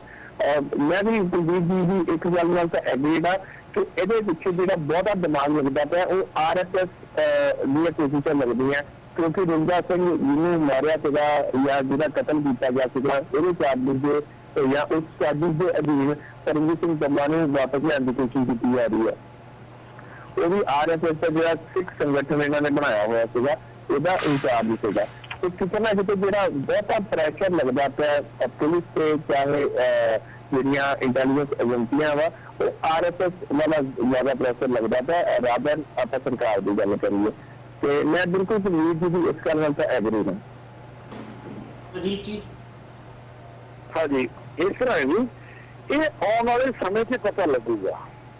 ਕਿਉਂਕਿ ਜੇ ਪਰਮਜੀਤ ਸਿੰਘ ਪੰਮਾ ਦੇ ਕੇਸ ਨੂੰ ਪਰਸਿਊ ਕਰਕੇ ਉੱਥੇ ਲਿਜਾਂਦੇ ਨੇ। ਤਾਂ ਬਹੁਤ ਵੱਡਾ ਉਹਨਾਂ ਦੀ ਇੰਟੈਂਸ਼ਨ ਤੇ, ਉਹਨਾਂ ਦੀ ਇਮਾਨਦਾਰੀ ਤੇ ਜਾਂ ਜੋ ਸਿੱਖਾਂ ਨਾਲ ਹੋਈਆਂ ਵਧੀਕੀਆਂ ਨੂੰ ਠੀਕ ਕਰਨ ਦੀ ਕੋਸ਼ਿਸ਼ ਦਾ ਉਹ ਪ੍ਰਭਾਵ ਦੇਣਾ ਚਾਹੁੰਦੇ ਨੇ। ਉਹਦੇ ਤੇ ਸਵਾਲੀਆ ਚਿੰਨ੍ਹ ਤੇ ਬਹੁਤ ਵੱਡਾ ਲੱਗ ਜੀ, ਜੇ ਪਰਮਜੀਤ ਸਿੰਘ ਪੰਮਾ ਨੂੰ ਐਕਸੀਡੇਟ ਕਰਕੇ ਉੱਥੇ ਲੈ ਜਾਂਦੇ ਪਰ ਮੈਨੂੰ ਨਿੱਜੀ ਤੌਰ ਤੇ ਮੈਂ ਮਹਿਸੂਸ ਕਰਦਾ ਕਿ ਕੇਸ ਬਹੁਤ ਦੇਰ ਤੋਂ ਚੱਲਿਆ ਆਉਂਦਾ ਸੀ। ਉਹਨੂੰ ਕੁਝ ਲੋਕੀ ਪੁਲਿਸ ਪੁਲਿਸ ਅਫਸਰ ਪਰਸਿਊ ਕਰ ਰਹੇ ਸੀ ਜਾਂ ਸਿਸਟਮ ਪਰਸਿਊ ਕਰ ਰਿਹਾ ਸੀ। ਉਹਦੇ ਵਿੱਚੋਂ ਕੇਸ ਵੱਧਦਾ ਰਿਹਾ। ਪਰ ਜੇ ਇਹਨਾਂ ਦੀ ਪੋਲੀਟੀਕਲ ਕੀ ਗੇਨ ਕਰਨਗੇ ਕੀ ਉਹ ਇਸ ਚੀਜ਼ ਵਿੱਚ ਗੁਜ਼ਾਰ ਅਜੀਤ ਜੀ ਮੈਂ ਤੁਹਾਡੀ ਨੌਲੇਜ ਵਾਸਤੇ ਦੱਸਦਾ ਉਹ ਜਿਹੜਾ ਕੇਸ ਸੀਗਾ ਉਹ ਯੂਕੇ ਦੀ ਗਵਰਨਮੈਂਟ ਦੇ ਨਾਲ ਰਲ ਕੇ ਇਨਵੈਸਟੀਗੇਸ਼ਨ ਹੋਈ ਸੀ ਉਹ ਕੇਸ ਖਤਮ ਹੋ ਚੁੱਕਿਆ ਜੀ ਉਹ ਵਾਲਾ। ਇਹ ਦੁਬਾਰਾ ਜਿਹੜਾ ਉਹਨਾਂ ਨੂੰ ਫਸਾਉਣ ਦੀ ਕੋਸ਼ਿਸ਼ ਕੀਤੀ ਜਾ ਰਹੀ ਹੈ। ਉਹਨੂੰ ਮੈਂ ਕਹਿ ਰਿਹਾ ਨਾ ਕਿ ਕੁਝ ਅਫਸਰ ਜਿਹੜੇ ਹੈਗੇ ਉਹਨਾਂ ਨੂੰ ਉਹਨੂੰ ਫਸਾਉਣ ਦੀ ਕੋਸ਼ਿਸ਼ ਕਰਦੇ ਨੇ ਜਿਵੇਂ ਤੁਸੀਂ ਪਹਿਲਾਂ ਕਿਹਾ ਸੀ ਉਹਨਾਂ ਦੇ ਨਿੱਜੀ ਕਾਰਨ ਵੀ ਹੋ ਸਕਦੇ ਨੇ। ਬਿਲਕੁਲ ਬਿਲਕੁਲ। ਤੇ ਇਹਨਾਂ ਦੀ ਰਿਹਾਈ ਤੋਂ ਬਾਅਦ ਉਹਨਾਂ ਨੂੰ ਇਹ ਡਰ ਵੀ ਹੋ ਸਕਦਾ ਹੈ ਕਿ ਅਸੀਂ ਐਕਸਪੋਜ਼ ਹੋ ਜਾਾਂਗੇ ਇਹ ਰੀਜ਼ਨ ਕੋਈ ਪਾਰਟਿਕੂਲਰ ਪੋਲੀਟੀਸ਼ੀਅਨ ਦਾ ਵੀ ਹੋ ਸਕਦਾ ਹੈ, ਕਿਸੇ ਪਾਰਟਿਕੂਲਰ ਉੱਚੇ ਅਹੁਦੇ ਬੈਠੇ ਤੇ ਬੈਠੇ ਅਫਸਰ ਦਾ ਵੀ ਹੋ ਸਕਦਾ। ਹੈ ਪਰ ਜੀ ਇਹ ਜੀ ਜ਼ਰੂਰ ਹੈ ਅਗਲਾ ਕਿ- ਕੁਐਸਚਨ ਅਗਲਾ ਕੁਐਸਚਨ ਮੇਰਾ ਅਗਲਾ ਕੁਐਸਚਨ ਮੈਂ ਪੁੱਛਣਾ ਚਾਹੂੰਗਾ। ਕਿ ਜੇ ਇੰਡੀਅਨ ਗਵਰਨਮੈਂਟ ਪੁਰਤਗਾਲ ਵਿੱਚ ਕੇਸ ਲੂਜ਼ ਕਰਦੀ ਆ ਜੇ ਇੰਡੀਅਨ ਗਵਰਨਮੈਂਟ ਪੁਰਤਗਾਲ ਵਿੱਚ ਕੇਸ ਲੂਜ਼ ਕਰਦੀ ਹੈ ਕਿ ਪਰਮਜੀਤ ਸਿੰਘ ਪੰਮਾ ਦਾ ਵੀ ਬਲੈਕ ਲਿਸਟ ਚੋਂ ਹਟਾਉਣਾ ਜਾਂ ਫਿਰ ਉਹਨਾਂ ਦੇ ਕੇਸ ਖਤਮ ਕਰਨਾ ਇਹ ਵੀ ਇੰਡੀਅਨ ਗਵਰਨਮੈਂਟ ਨੂੰ ਕਰਨਾ ਚਾਹੀਦਾ ਇਹ ਕਰੂਗੀ ਜਾਂ ਫਿਰ ਨਹੀਂ ਕਰੂਗੀ ਪਹਿਲੀ ਗੱਲ ਤਾਂ ਇਹ ਜੀ ਉਹਨਾਂ ਪਰਮਜੀਤ ਸਿੰਘ ਪੰਮਾ ਦਾ ਬਲੈਕ ਲਿਸਟ ਵਿੱਚ ਦੇ ਜਿਹੜੀ ਕਾਲੀ ਸੂਚੀ ਹੈਗੀ ਉਹਦੇ 'ਚ ਨਾਮ ਹੀ ਨਹੀਂ ਹੈਗਾ ਦੂਜੀ ਗੱਲ ਆ ਕਿ ਇੰਡੀਅਨ ਗਵਰਨਮੈਂਟ। ਕੁਲਵੀਰ ਜੀ ਇੰਟਰਪੋਲ ਦੇ ਵਿੱਚ ਅਲਰਟ ਸੀ ਤਾਂ ਹੀ ਉਹਨਾਂ ਨੂੰ ਉੱਥੇ ਹਾਂ। ਡਿਟੇਨ ਕੀਤਾ ਗਿਆ। ਨਹੀਂ ਇੰਟਰਪੋਰਟ ਦੇ ਵਿੱਚ ਅਲਰਟ ਇਹ ਸਪੈਸ਼ਲ ਤੌਰ ਤੇ ਦਿੱਤਾ ਗਿਆ ਸੀਗਾ ਜਿਹੜੀ ਕਾਲੀ ਸੂਚੀ ਦੀ ਅਸੀਂ ਗੱਲ ਕਰਦੇ ਹਾਂ ਪੁਰਾਣੀ ਉਹਦੇ ਵਿੱਚ ਉਹਨਾਂ ਦਾ ਨਾਮ ਨਹੀਂ ਸੀਗਾ ਕਿ ਉਹਦੇ ਦੂਸਰੀ ਗੱਲ ਇਹ ਹੈ ਕਿ ਇੰਡੀਅਨ ਗਵਰਨਮੈਂਟ ਤੇ ਯੂਕੇ ਗਵਰਨਮੈਂਟ ਆਲਰੇਡੀ ਇਸ ਕੇਸ ਦੇ ਵਿੱਚ ਪਰਮਜੀਤ ਸਿੰਘ ਪੰਮਾ ਦੀ ਸ਼ਮੂਲੀਅਤ ਦੀ ਇਨਕੁਆਇਰੀ ਕਰ ਚੁੱਕੀ ਸੀ ਜਿਹਦੇ ਵਿੱਚ ਉਹਨਾਂ ਨੂੰ ਕੋਈ ਵੀ ਪ੍ਰੂਫ ਨਹੀਂ ਮਿਲਿਆ ਸੀਗਾ ਤੇ ਪਰਮਜੀਤ ਪੰਮਾ ਦੇ ਉੱਪਰੋਂ ਜਿਹੜਾ ਕੇਸ ਜਿਹੜਾ ਹੈਗਾ ਖਤਮ ਹੋ ਗਿਆ ਸੀਗਾ। ਇਸ ਵਾਰੀ ਦੁਬਾਰਾ ਜਿਹੜਾ ਹੈਗਾ ਇਹਨੂੰ ਕੇਸ ਨੂੰ ਰੀਓਪਨ ਕਰਨ ਦੀ ਕੋਸ਼ਿਸ਼ ਕੀਤੀ ਜਾ ਰਹੀ ਆ ਜਦਕਿ ਜਿਹੜੇ ਲੋਕ ਡਾਇਰੈਕਟਲੀ ਇਨਵੋਲਵ ਦੱਸੇ ਜਾਂਦੇ ਸੀਗੇ, ਉਹ ਸਾਰੇ ਬਰੀ ਹੋ ਚੁੱਕੇ ਆ। ਉਹਨਾਂ ਖਿਲਾਫ ਵੀ ਕੋਈ ਸਬੂਤ ਨਹੀਂ ਮਿਲਿਆ ਸੀਗਾ। ਜਿਹੜਾ, ਪਰ ਜੇ ਆਪਾਂ ਇੰਡੀਅਨ ਗਵਰਨਮੈਂਟ ਦੀ ਹੁਣ ਗੱਲ ਕਰੀਏ, ਪਰਮਜੀਤ ਪੰਮਾ ਦੇ ਕੇਸ ਦੇ ਵਿੱਚ, ਜੇ ਉਹ ਇੰਡੀਅਨ ਗਵਰਨਮੈਂਟ ਉੱਥੇ ਹਾਰ ਜਾਂਦੀ ਆ, ਤੇ ਉਹਦੀ ਬਹੁਤ ਵੱਡੀ ਕਿਰਕਰੀ ਵੀ ਹੋਏਗੀ। ਦੂਸਰੀ ਗੱਲ ਇਹ ਆ ਕਿ ਜਿਹੜੀ ਪੰਮਾ ਹੈਗਾ, ਪੰਮਾ ਕਿਉਂਕਿ ਕਿਸੇ ਸੂਚੀ ਦੇ ਵਿੱਚ ਹੈ ਹੀ ਨਹੀਂ ਹੈ, ਤੇ ਇਸ ਕਰਕੇ ਉਹਦਾ ਦੁਬਾਰਾ ਨਾਮ ਜਾਣ ਦੀ ਗੱਲ ਵੀ ਨਹੀਂ ਆਏਗੀ। ਅਗਲਾ ਤੁਸੀਂ ਆਰਐਸਐਸ ਦਾ ਜ਼ਿਕਰ ਕੀਤਾ ਸੀ ਤੁਸੀਂ ਤੇ ਦਿਲਰਾਜ ਜੀ ਦੋਵਾਂ ਨੇ। ਹੁਣ ਕੁਐਸਚਨ ਇੱਥੇ ਇਹ ਵੀ ਉੱਠਦਾ ਕਿਉਂਕਿ ਅਸੀਂ ਪੰਜਾਬ ਇਲੈਕਸ਼ਨ 2017 ਨੂੰ ਵਿੱਚ ਜੋੜ ਰਹੇ ਸੀ ਆ ਜੋ ਗਵਰਨਮੈਂਟ ਵੱਲੋਂ ਸਟੈਪ ਲੈਣ ਦੀਆਂ ਗੱਲਾਂ ਕੀਤੀਆਂ ਜਾ ਰਹੀਆਂ ਨੇ। ਤੇ ਮੋਦੀ ਸਾਹਿਬ ਜਾਂ ਅਮਿਤ ਸ਼ਾਹ ਵਾਸਤੇ ਆਰਐਸਐਸ ਨੂੰ ਖੁਸ਼ ਕਰਨਾ ਜ਼ਰੂਰੀ ਹੋਊਗਾ ਜਾਂ ਫਿਰ ਇਲੈਕਸ਼ਨ ਜਿੱਤਣ ਤੇ ਉਹ ਜ਼ਿਆਦਾ ਜ਼ੋਰ ਦੇਣਗੇ ਜੋ ਚ- ਅਹ, ਜਾਂ ਫਿਰ ਆਰਐਸਐਸ ਨੂੰ ਖੁਸ਼ ਕਰਨ ਤੇ ਜ਼ਿਆਦਾ ਜ਼ੋਰ ਦੇਣਗੇ? ਕੁਲਵੀਰ ਜੀ।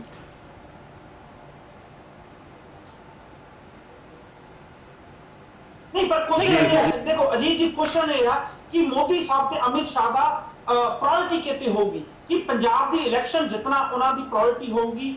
ਜਾਂ ਫਿਰ ਆਰਐਸਐਸ ਮੇਕ ਸ਼ੋਰ ਕਰਨਾ ਕਿ ਆਰਐਸਐਸ ਨੂੰ ਕਿਤੇ ਵੀ ਅਸੀਂ ਨਾਰਾਜ਼ ਨਾ ਕਰ ਲਈਏ? ਮੈਂ ਉਹੀ ਗੱਲ ਕਰਨ ਲੱਗਿਆ ਸੀ ਕਿ ਉਹ ਆਰਐਸਐਸ ਨੂੰ ਇਗਨੋਰ ਨਹੀਂ ਕਰ ਸਕਦੇ ਪਰ ਜਿਵੇਂ ਦੀ ਪਿੱਛੇ ਹਿਸਟਰੀ ਹੈ ਕਿ ਆਰਐਸ ਜੋ ਚਾਹੁੰਦੀ ਹੈ, ਉਸ ਤੋਂ ਉਲਟ ਵੀ ਜਾ ਕੇ ਮੋਦੀ ਸਾਹਿਬ ਨੇ ਫੈਸਲੇ ਕੀਤੇ ਨੇ। ਆਪਣੀ ਪੋਲੀਟੀਕਲੀ ਕੀ ਗੇਨ ਕੀ ਲਾਸ ਹੈ, ਉਹਨੂੰ ਮੁੱਖ ਰੱਖਦੇ ਹੋਏ ਕਈ ਵਾਰ ਉਹਨਾਂ ਨੇ ਉਹਨਾਂ ਦੇ ਬੰਦਿਆਂ ਨੂੰ ਚੁੱਪ ਵੀ ਕਰਾਇਆ। ਸੋ ਇਸ ਤੋਂ ਇਹ ਆਸ ਕਰਦੇ ਆ ਕਿ ਉਹ ਜਿਹੜੀਆਂ 2017 ਦੀਆਂ ਚੋਣਾਂ ਉਹਨਾਂ ਨੂੰ ਪ੍ਰਾਇੋਰਟੀ ਦੇਣਗੇ, ਕਿਉਂਕਿ ਬਿਹਾਰ ਦੀਆਂ ਚੋਣਾਂ ਤੋਂ ਬਾਅਦ ਜੇ ਦੁਬਾਰਾ ਇੱਕ ਵਿਨਰ ਦਿਖਾਉਣਾ, ਇੱਕ ਜੇਤੂ ਅੰਦਾਜ਼ ਦਾ ਮੁਕਤ ਪਹਿਨਣਾ ਚਾਹੁੰਦੇ ਨੇ ਤਾਂ ਉਹਨਾਂ ਨੂੰ ਪੰਜਾਬ ਦੀਆਂ ਚੋਣਾਂ ਜਿੱਤਣੀਆਂ ਬਹੁਤ ਜ਼ਰੂਰੀ ਨੇ। ਅਦਰਵਾਈਜ਼ ਇਹਨਾਂ ਦੀ ਹਾਰਨ ਹੌਸਲਾ ਅੱਗੇ ਵਧਣ ਦੇ ਨਾਲ ਇਹਨਾਂ ਦੀ ਖਿਰਕਰੀ ਬਹੁਤ ਹੋਊਗੀ ਔਰ ਅਗਲੀਆਂ 2019 19 ਦੀਆਂ ਚੋਣਾਂ ਤੱਕ ਉਹਨਾਂ ਨੂੰ ਸੰਭਲਣਾ ਬਹੁਤ ਮੁਸ਼ਕਲ ਹੋ ਜਾਏਗਾ। ਇਸ ਕਰਕੇ ਪੰਜਾਬ ਦੀ ਜਿਹੜੀ ਚੋਣ ਹੈ, ਉਹ ਕਾਫੀ ਵੱਡੀ ਪ੍ਰਾਇੋਰਟੀ ਹੋਏਗੀ ਨਾ ਦੋਹਾਂ ਦੇ ਸਾਹਮਣੇ। ਸੋ ਇਸ ਗੱਲ ਕਰਕੇ ਭਾਵੇਂ ਉਹ ਇਸ ਮੁੱਦੇ ਦੇ ਵਿੱਚ ਆਰਐਸਐਸ ਨੂੰ ਜਿਹੜਾ ਹੈਗਾ ਖੁਸ਼ ਕਰਨ ਦੀ ਕੋਸ਼ਿਸ਼ ਨਾ ਕਰਨ। ਦਿਲਰਾਜ ਜੀ ਆਈ ਥਿੰਕ ਦਿਲਰਾਜ ਦੀ ਅਹ, ਦਿਲਰਾਜ ਜੀ ਮੈਨੂੰ ਸੁਣ ਪਾ ਰਹੇ ਹੋ ਤੁਸੀਂ ਹਾਂਜੀ ਕੁਲਵੀਰ ਜੀ ਮੀਨਵਾਈਲ ਦਿਲਰਾਜ ਜੀ ਦੀ ਲਾਈਨ ਜੋੜਦੀ ਹੈ ਕੁਲਵੀਰ ਜੀ ਅ, ਹਰਪ੍ਰੀਤ ਜੀ ਅ, ਮੇਰੇ ਖਿਆਲ ਨਾਲ ਕ- ਮੋਦੀ ਜੀ ਉੱਥੇ ਵੀ ਇੱਕ ਗੇਮ ਦੇ ਤੌਰ ਤੇ ਹੀ ਜਿਹੜਾ ਕਰਦੇ ਨੇ, ਪਰ ਇਸ ਵੇਲੇ ਕੀ ਹੈ ਕਿ ਪਿਛਲੇ ਸਮੇਂ ਦੌਰਾਨ ਕਿਉਂਕਿ ਉਹਨਾਂ ਨੇ ਆਰਐਸਐਸ ਨੂੰ ਬਹੁਤ ਕੁਝ ਕਰਨ ਤੋਂ ਜਾਂ ਜਿਹੜੇ ਹਿੰਦੂ ਹੋਰ ਸੰਗਠਨ ਸੀ, ਉਹਨਾਂ ਨੂੰ ਕਾਫੀ ਕੁਝ ਕਰਨ ਤੋਂ ਨਹੀਂ ਰੋਕਿਆ, ਜਿਹੜੇ ਦੇ, ਜਿਹਦੇ ਦੌਰਾਨ ਉਹਦੀ ਇੰਟਰਨੈਸ਼ਨਲ ਲੈਵਲ ਦੇ ਉੱਪਰ ਇੰਟ- ਉਹਨਾਂ ਦੀ ਜਿਹੜੀ ਕਾਫੀ ਜਿਹੜੀ ਹੈਗੀ ਆ, ਉਹਨਾਂ ਦੀ ਉਹਨਾਂ ਦੇ ਖਿਲਾਫ ਲੋਕਾਂ ਵੱਲੋਂ ਗ- ਗੱਲਾਂ ਕੀਤੀਆਂ ਗਈਆਂ। ਉਹਨਾਂ ਦੀ ਕਾਫੀ ਜਿਹੜੀ ਹੈਗੀ ਆ ਇਹ ਕਹਿ ਸਕਦੇ ਆ ਕਿ ਕਿਰਕਰੀ ਹੋਈ ਉਸ ਮਾਮਲੇ ਦੇ ਵਿੱਚ ਕਿ ਉਹ ਹਿੰਦੂ ਸੰਗਠਨਾਂ ਨੂੰ ਪੰਜਾਬ ਉੱਥੇ ਇੰਡੀਆ ਦੇ ਵਿੱਚ ਕਾਰਵਾਈਆਂ ਕਰਨ ਤੋਂ ਨਹੀਂ ਰੋਕ ਰਹੇ। ਹਾਂ, ਜਿੱਥੇ ਤੱਕ ਜਦੋਂ ਵੀ ਕਿਤੇ ਇਲੈਕਸ਼ਨ ਆਉਂਦੀ ਆ ਤੇ ਉਹ- ਉਹਦਾ ਸਵਾਲ ਹੈਗਾ, ਉੱਥੇ ਮੇਰੇ ਖਿਆਲ ਨਾਲ ਮੋਦੀ ਜੀ ਕੋਸ਼ਿਸ਼ ਕਰਨਗੇ ਕਿ ਉਹ ਆਪਣੀ ਇਲੈਕਸ਼ਨ ਜਿਹੜੀ ਹੈਗੀ ਆ, ਉਹਨੂੰ ਮੁੱਖ ਰੱਖਣਗੇ। ਜੇ ਪੰਜਾਬ ਦੀ ਇਲੈਕਸ਼ਨ ਗੱਲ ਕਰੀਏ ਤਾਂ ਇੱਥੇ ਵੀ ਉਹ ਕੋਸ਼ਿਸ਼ ਕਰਨਗੇ ਕਿ ਪੰਜਾਬ ਦੀ ਇਲੈਕਸ਼ਨ ਨੂੰ ਉਹ ਜਿਹੜਾ ਹੈਗਾ ਪ੍ਰਾਇੋਰਟੀ ਦੇਣ ਤੇ ਆਰਐਸਐਸ ਨੂੰ ਉਨੀ ਪ੍ਰਾਇੋਰਟੀ ਨਾ ਦੇਣ। ਕਿਉਂਕਿ ਇੱਕ ਗੱਲ ਤੇ ਉਹਨਾਂ ਨੂੰ ਵੀ ਪਤਾ ਹੈ, ਜੇ ਆਰਐਸਐਸ ਨੂੰ ਉਹਨਾਂ ਦੇ ਕੋਲੋਂ ਕੋਈ ਮਦਦ ਚਾਹੀਦੀ ਆ ਜਾਂ ਸਪੋਰਟ ਚਾਹੀਦੀ ਹੈ ਜਾਂ ਆਰਐਸਐਸ ਨੂੰ ਉਹ ਨਾਲ ਲੈ ਕੇ ਚੱਲਣਾ ਚਾਹੁੰਦੇ ਆ, ਤੇ ਉਹਨਾਂ ਦਾ ਸਰਕਾਰਾਂ ਵਿੱਚ ਰਹਿਣਾ ਬਹੁਤ ਜ਼ਰੂਰੀ ਆ। ਜੇ ਉਹ ਸਰਕਾਰਾਂ ਵਿੱਚ ਹੀ ਨਹੀਂ ਰਹਿਣਗੇ ਤਾਂ ਉਹ ਆਰਐਸਐਸ ਨੂੰ ਵੀ ਨਾਲ ਲੈ ਕੇ ਨਹੀਂ ਚੱਲ ਸਕਦੇ। ਤੇ ਆਰਐਸਐਸ ਨੂੰ ਸਪੋਰਟ ਕਰਨ ਵਾਸਤੇ ਹੋ ਸਕਦਾ ਕਿਤੇ ਨਾ ਕਿਤੇ ਉਹ ਆਰਐਸਐਸ ਨੂੰ ਪਿੱਛੇ ਵੀ ਉਹਨਾਂ ਨੂੰ ਪਾਉਣਾ ਪਵੇ। ਤੇ ਜੇ ਮੈਂ ਇਲੈਕਸ਼ਨ ਦੀ ਗੱਲ ਕਰਾਂ 2017 ਦੀ, ਹਾਲਾਂਕਿ ਬਹੁਤ ਜ਼ਿਆਦਾ ਜਿਹੜਾ ਸੈਂਟਰ ਦੇ ਵਿੱਚ ਪੰਜਾਬ ਦਾ ਕੰਟਰੀਬਿਊਟ ਨਹੀਂ ਹੁੰਦਾ, ਪਰ ਜਿਸ ਤਰ੍ਹਾਂ ਉਹਨਾਂ ਦੀ ਪਿੱਛੇ ਬਿਹਾਰ ਦੇ ਵਿੱਚ ਹਾਰ ਹੋਈ ਹੈ, ਉਸ ਹਾਰ ਨੂੰ ਦੇਖਦੇ ਹੋਏ ਉਹ ਜਿਹੜਾ ਹੈਗਾ ਮੋਦੀ ਜੀ ਦੀ ਜ਼ਰੂਰਤ ਬਣ ਜਾਂਦੀ ਹੈ, ਮਜਬੂਰੀ ਬਣ ਜਾਂਦੀ ਹੈ ਕਿ ਪੰਜਾਬ ਦੀ ਇਲੈਕਸ਼ਨ ਵਿੱਚ ਜਾਂ ਤਾਂ ਉਹ ਜਿੱਤਣ ਜਾਂ ਅਕਾਲੀਆਂ ਦੇ ਨਾਲ ਮਿਲ ਕੇ ਜਿਹੜਾ ਉਹਨਾਂ ਦਾ ਅਲਾਈਅੰਸ ਹੈਗਾ, ਉਹ ਇਲੈਕਸ਼ਨ ਜ਼ਰੂਰ ਜਿੱਤੇ। ਤੇ ਉਸ ਇਲੈਕਸ਼ਨ ਨੂੰ ਜਿੱਤਣ ਵਾਸਤੇ ਹੋ ਸਕਦਾ ਕਿ ਆਰਐਸਐਸ ਦੇ ਜਿਹੜੇ ਜਿਹੜੀਆਂ ਕਾਰਵਾਈਆਂ ਹੋਣ ਜਾਂ ਜਿਹੜੇ ਉਹਨਾਂ ਦੇ ਜਿਹੜੀਆਂ ਉਹਨਾਂ ਦੀ ਪ੍ਰਾਇੋਰਟੀਜ਼ ਹੋਣ ਉਹਨਾਂ ਨੂੰ ਥੋੜਾ ਜਿਹਾ ਪਿੱਛੇ ਪਾ ਦੇਣ ਤੇ ਇਲੈਕਸ਼ਨ ਨੂੰ ਜਿਹੜਾ ਹੈਗਾ 2017 ਤੱਕ ਪ੍ਰਮੁੱਖ ਰੱਖਣ। ਦਿਲਰਾਜ ਜੀ ਆਈ ਥਿੰਕ ਦਿਲਰਾਜ ਜੀ ਤੁਸੀਂ ਮੈਨੂੰ ਸੁਣ ਪਾ ਰਹੇ ਹੋ ਹਾਂਜੀ ਹਾਂਜੀ ਹਰਪ੍ਰੀਤ ਜੀ। ਹਾਂਜੀ ਦਿਲਰਾਜ ਜੀ ਕੁਐਸਚਨ ਇਹ ਸੀ ਕਿ ਮੋਦੀ ਸਾਹਿਬ ਐਂਡ ਅਮਿਤ ਸ਼ਾਹ ਜੀ ਇਲੈਕਸ਼ਨ ਜਿੱਤਣ ਵੱਲ ਕਨਸੈਂਟਰੇਟ ਕਰਨਗੇ ਜਾਂ ਫਿਰ ਆਰਐਸਐਸ ਨੂੰ ਖੁਸ਼ ਕਰਨ ਅਹ, ਵੱਲ ਕਰਨਗੇ? ਉਹਨਾਂ ਦੀ ਪ੍ਰਾਇੋਰਟੀ ਕੀ ਹੋਗੀ ਇਲੈਕਸ਼ਨ ਜਿੱਤਣਾ ਇਲੈਕਸ਼ਨ ਜਿੱਤਣਾ ਜਾਂ ਫਿਰ ਆਰਐਸਐਸ ਦੀ ਨਾਲ ਤੁਰਨਾ ਤੇ ਉਹਨਾਂ ਦੀ ਹਾਂ ਹਾਂ ਮਿਲਾਉਣਾ? ਅਤੇ ਜੀ ਇਸ ਵੇਲੇ ਸਭ ਤੋਂ ਵੱਡੀ ਪ੍ਰਾਪਰਟੀ ਮੋਦੀ ਤੇ ਅਮਿਤ ਸ਼ਾਹ ਦੀ ਜਾਂ ਆਪਾਂ ਕਹੀਏ ਕਿ ਐਨਡੀਏ ਦੀ ਉਹ ਇਹ ਹੈ ਕਿ ਰਾਜ ਸਭਾ ਦੇ ਵਿੱਚ ਆਪਣੀ ਗਿਣਤੀ ਪੂਰੀ ਕਰਨੀ। ਉਹ ਇੱਕ ਤਰੀਕੇ ਨਾਲ ਹੋ ਸਕਦੀ ਹੈ ਕਿ ਪੰਜਾਬ ਦੀਆਂ ਜਿਹੜੀਆਂ ਅਹ, 60 ਸੌਰੀ ਪੰਜਾਬ ਦੀਆਂ ਜਿਹੜੀਆਂ 120 ਸੀਟਾਂ ਹੈਗੀਆਂ 117 ਸੀਟਾਂ ਹੈਗੀਆਂ ਉਹਦੇ ਵਿੱਚ ਵੱਧ ਤੋਂ ਵੱਧ ਸੀਟਾਂ ਲੈ ਕੇ ਪੰਜਾਬ ਦੇ ਵਿੱਚ ਮੈਜੋਰਟੀ ਰਾਜ ਜੇ ਅਸੀਂ ਰਾਜ ਸਭਾ ਦੀ ਗੱਲ ਕਰੀਏ ਜੇ ਅਸੀਂ ਰਾਜ ਸਭਾ ਦੀ ਗੱਲ ਕਰੀਏ ਰਾਜ ਸਭਾ ਵਿੱਚ ਪੰਜਾਬ ਦਾ ਨੰਬਰ ਕੁਝ ਖਾਸ ਨਹੀਂ ਆਂਦਾ। ਪੰਜਾਬ ਤੋਂ ਪਹਿਲਾਂ ਯੂਪੀ ਵਿੱਚ ਇਲੈਕਸ਼ਨ ਹੋਣੀ ਹੈ ਤੇ ਜੇ ਯੂਪੀ ਦੀ ਗੱਲ ਕਰੀਏ ਜੇ ਯੂਪੀ ਦੀ ਗੱਲ ਕਰੀਏ ਯੂਪੀ ਇੱਕ ਇਦਾਂ ਦਾ ਸਟੇਟ ਆ ਜੋ ਕਿ ਰਾਜ ਸਭਾ ਵਿੱਚ ਕਾਫੀ ਖਾਸ ਭੂਮਿਕਾ ਨਿਭਾਉਂਦਾ ਹੈ। ਤੁਹਾਨੂੰ ਨਹੀਂ ਲੱਗਦਾ ਕਿ ਮੋਦੀ ਸਾਹਿਬ ਜਾਂ ਬੀਜੇਪੀ ਜ਼ਿਆਦਾ ਕਨਸੈਂਟਰੇਟ ਯੂਪੀ ਤੇ ਕਰਨਗੇ ਕਿ ਪੰਜਾਬ ਤੇ? ਮੈਂ ਹੱਥ ਇਹਦੇ ਵਿੱਚ ਕੋਈ ਦੋ ਰਾਏ ਨਹੀਂ ਕਿ ਜਿਵੇਂ ਵੀ ਸੈਂਟਰ ਦੀ ਰਾਜਨੀਤੀ ਹੈ, ਉਹ ਯੂਪੀ ਤੋਂ ਹੀ ਰੂਟ ਹੁੰਦੀ ਹੈ। ਇਹਦੇ ਵਿੱਚ ਸੋਚਿਆ ਨਹੀਂ ਜਾ ਸਕਦਾ ਜੇ ਪੰਜਾਬ ਤੇ ਯੂਪੀ ਦੀ ਗੱਲ ਕਰੀਏ ਤਾਂ ਯੂਪੀ ਬਹੁਤ ਉੱਤੇ ਹੈ ਕਿਉਂਕਿ ਸੀਟਾਂ ਦੀ ਜਿਹੜੀ ਗਿਣਤੀ ਹੈ ਉਹ ਬਹੁਤ ਜ਼ਿਆਦਾ ਅਹ, ਅਹ, ਬਹੁਤ ਹੀ ਜ਼ਿਆਦਾ ਹਰ ਵੱਡੀ ਪਾਰਟੀ ਯੂਪੀ ਨੂੰ ਹੀ ਪ੍ਰਾਇੋਰਟੀ ਦੇਗੀ ਪੰਜਾਬ ਤੋਂ ਹੁਣ ਗੱਲ ਆਉਂਦੀ ਹੈ ਕਿ 2017 ਦੇ ਵਿੱਚ ਪੰਜਾਬ ਐਸਲੇ ਸਭ ਤੋਂ ਅਹ, ਪੰਜਾਬ ਦੀ ਇਸ ਕਰਕੇ ਪ੍ਰਾਇੋਰਟੀ ਦੇਣੀ ਪੈਣੀ ਹੈ ਕਿਉਂਕਿ ਹਰ ਬ- ਪਾਰਟੀ ਪੰਜਾਬ ਦੇ ਵਿੱਚ ਆਪਣਾ ਦੇਸ਼ ਬਣਾਉਣਾ ਚਾਹੁੰਦੀ ਹੈ ਕਿਉਂਕਿ ਡਿਵੈਲਪਿੰਗ ਵੀ ਹੈ ਹਰ ਚੀਜ਼ ਪੰਜਾਬ ਦੇ ਵਿੱਚ ਐਸਲੇ ਮੌਜੂਦ ਹੈ। ਤੇ ਤੁਹਾਡਾ ਪਹਿਲਾ ਸਵਾਲ ਸੀਗਾ ਕਿ ਮੋਦੀ ਜਾਂ ਅਮਿਤ ਸ਼ਾਹ ਪੰਜਾਬ ਦੀ ਇਲੈਕਸ਼ਨ ਜਿੱਤਣ ਵੱਲ ਜਾਣਗੇ ਕਿ ਆਰਐਸਐਸ ਵੱਲ ਜਾਣਗੇ 2000% ਪੰਜਾਬ ਦੀਆਂ ਇਲੈਕਸ਼ਨ ਜਿੱਤਣ ਵੱਲ ਜਾਣਗੇ, ਚਾਹੇ ਸ਼੍ਰੋਮਣੀ ਅਕਾਲੀ ਦਲ ਬਾਦਲ ਦੇ ਨਾਲ ਮਿਲ ਕੇ ਹੋਣ, ਚਾਹੇ ਸ਼੍ਰੋਮਣੀ ਅਕਾਲੀ ਦਲ ਦੇ ਵਿਰੋਧ ਦੇ ਵਿੱਚ ਹੋਣ। ਪੰਜਾਬ ਦੀ ਇਲੈਕਸ਼ਨ ਜਿੱਤਣਾ ਮੋਦੀ ਸਰਕਾਰ ਦੀ ਵੀ ਇੱਕ ਮਜਬੂਰੀ ਹੈ from international point of View ਕਿਉਂਕਿ ਇੰਟਰਨੈਸ਼ਨਲ ਜੇ ਅਸੀਂ ਦੇਖੀਏ ਤੇ ਜਿਸ ਤਰ੍ਹਾਂ ਸਿੱਖ ਫੋਰਨ ਵਿੱਚ ਕਾਫੀ ਦੇਸ਼ਾਂ ਵਿੱਚ ਵਸੇ ਹੋਏ ਆ ਜਦੋਂ ਵੀ ਮੋਦੀ ਸਾਹਿਬ ਜੇ ਕਿਤੇ ਵੀ ਟੂਰ ਲਾਉਂਦੇ ਨੇ, ਤਾਂ ਮੋਦੀ ਸਾਹਿਬ ਨੂੰ ਕਿਤੇ ਨਾ ਕਿਤੇ ਸਿੱਖਾਂ ਤੋਂ ਅਪੋਜ਼ ਮਿਲ ਹੀ ਜਾਂਦਾ ਵਾ ਕਿ ਮੋਦੀ ਸਾਹਿਬ ਦੀ ਬਹੁਤ ਵੱਡੀ ਮਜਬੂਰੀ ਹੈ ਇੰਟਰਨੈਸ਼ਨਲ ਰੈਪੂਟੇਸ਼ਨ ਜੇ ਠੀਕ ਕਰਨੀ ਹੈ ਤੇ ਸਭ ਤੋਂ ਪਹਿਲਾਂ ਮੇਕ ਸ਼ੋਰ ਕਰੀਏ ਸਿੱਖਸ ਜਾਂ ਗੁਜਰਾਤੀ ਜੋ ਕਿ ਬਾਹਰ ਜ਼ਿਆਦਾ ਵਸੇ ਹੋਏ ਨੇ, ਉਹਨਾਂ ਨੂੰ ਆਪਣੇ ਵੱਲ ਕੀਤਾ ਜਾਵੇ। ਬਿਲਕੁਲ ਹਰਪ੍ਰੀਤ ਜੀ ਬਿਲਕੁਲ ਇਹਦੇ ਵਿੱਚ ਵੀ ਕੋਈ ਦੋ ਰਾਏ ਨਹੀਂ ਹੈਗੀ ਜੇ ਆਪਾਂ ਇਸ ਐਂਗਲ ਤੋਂ ਸੋਚੀਏ ਤੇ ਇਸ ਐਂਗਲ ਤੋਂ ਵੀ ਪੰਜਾਬ ਦੀ ਤਰ੍ਹਾਂ ਜਾਂ ਪੰਜਾਬ ਦੇ ਇਲੈਕਸ਼ਨ ਜਿੱਤਣੇ ਆ ਮੋਦੀ ਸਾਹਿਬ ਦੀ ਇੱਕ ਮਜਬੂਰੀ ਬਣ ਜਾਂਦੀ ਹੈ। ਕਿਉਂਕਿ ਪੰਜਾਬ ਦੀ ਕਾਫੀ ਆਬਾਦੀ ਜਿਹੜੀ ਹੈਗੀ ਹੈ, ਉਹ ਫੋਰਨ ਦੇ ਵਿੱਚ ਵਸੀ ਹੋਈ ਹੈਗੀ ਹੈ। ਅਹ ਬੜੇ ਐਨਆਰਆਈ ਜਿਹੜਾ ਪੰਜਾਬ ਦਾ ਕਾਫੀ ਪੈਸਾ, ਉਹ ਐਨਆਰਆਈ ਦੀ ਇਨਕਮ ਤੋਂ ਆਉਂਦਾ ਪੰਜਾਬ ਦੇ ਵਿੱਚ, ਜਿਹੜਾ ਫੋਰਨ ਦਾ ਜ਼ਿਆਦਾ ਪੈਸਾ ਐਨਆਰਆਈ ਦੀ ਇਨਕਮ ਤੋਂ ਆਉਂਦਾ ਪੰਜਾਬ ਦੇ ਵਿੱਚ। ਕਿਤੇ ਨਾ ਕਿਤੇ ਇਹਨੂੰ ਮਜਬੂਰੀ ਵੀ ਕਹਿ ਸਕਦੇ ਹਾਂ, ਪਰ ਦੂਜਾ ਸਾਖ ਦੀ ਗੱਲ ਲੜਾਈ ਵੀ ਬਣੀ ਗਈ ਹੈ। ਸਾਖ ਇਸ ਕਰਕੇ ਕਿ ਜਿੱਦਾਂ ਮੋਦੀ ਅਹ, ਜਾਂ ਐਨਡੀਏ ਜੋ ਅਹ, ਅਹ, ਜਿਹੜੀਆਂ ਲੋਕ ਸਭਾ ਦੇ ਇਲੈਕਸ਼ਨ ਜਿੱਤਿਆ ਸੀ ਉਸ ਤੋਂ ਬਾਅਦ ਉਹ ਕੁਝ ਵੀ ਉੱਡਾ ਵੱਡਾ ਕਰ ਨਹੀਂ ਸਕੇ ਚਾਹੇ ਦਿੱਲੀ ਦੇ ਇਲੈਕਸ਼ਨ ਹੋਣ ਬੁਰੀ ਤਰ੍ਹਾਂ ਹਾਰੇ ਬਿਹਾਰ ਦੇ ਇਲੈਕਸ਼ਨ ਹੋਣ ਬੁਰੀ ਤਰ੍ਹਾਂ ਹਾਰੇ ਜੇਕਰ ਲੋਕ ਸਭਾ ਦੇ ਇਲੈਕਸ਼ਨ ਤੋਂ ਬਾਅਦ ਕੋਈ ਵੀ ਵੱਡੀ ਇਲੈਕਸ਼ਨ ਇਸ ਲੈਵਲ ਤੇ ਨਹੀਂ ਜਿੱਤ ਸਕੇ ਜੋ ਉਹਨਾਂ ਨੇ ਲੋਕ ਸਭਾ ਦੀ ਇਲੈਕਸ਼ਨ ਜਿੱਤੀਆਂ ਸੀਗੀਆਂ ਤੇ ਮੈਂ ਸਮਝਦਾ ਕਿ ਇਹ ਸਾਥ ਦੀ ਲੜਾਈ ਦੀ ਹੈ ਇੱਜ਼ਤ ਦੀ ਲੜਾਈ ਦੀ ਹੈ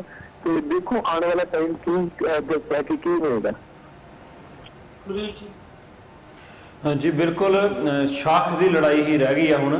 ਇੰਟਰਨੈਸ਼ਨਲ ਲੈਵਲ ਤੇ ਸ਼ਾਖ ਹੋਵੇ, ਚਾਹੇ ਉਹ ਨੈਸ਼ਨਲ ਲੈਵਲ ਤੇ ਸ਼ਾਖ ਹੋਵੇ, ਚਾਹੇ ਪੰਜਾਬ ਦੇ ਵਿੱਚ ਬਾਦਲ ਦੀ ਸ਼ਾਖ ਹੋਵੇ, ਇਹ ਜਿਹੜੀ ਲੜਾਈ ਹੁਣ 2017 ਦੀ ਹੈਗੀ ਆ, ਇਹ ਇਹਨਾਂ ਦੀ ਹੁਣ ਸ਼ਾਖ ਦੀ ਲੜਾਈ ਹੋ ਚੁੱਕੀ ਆ।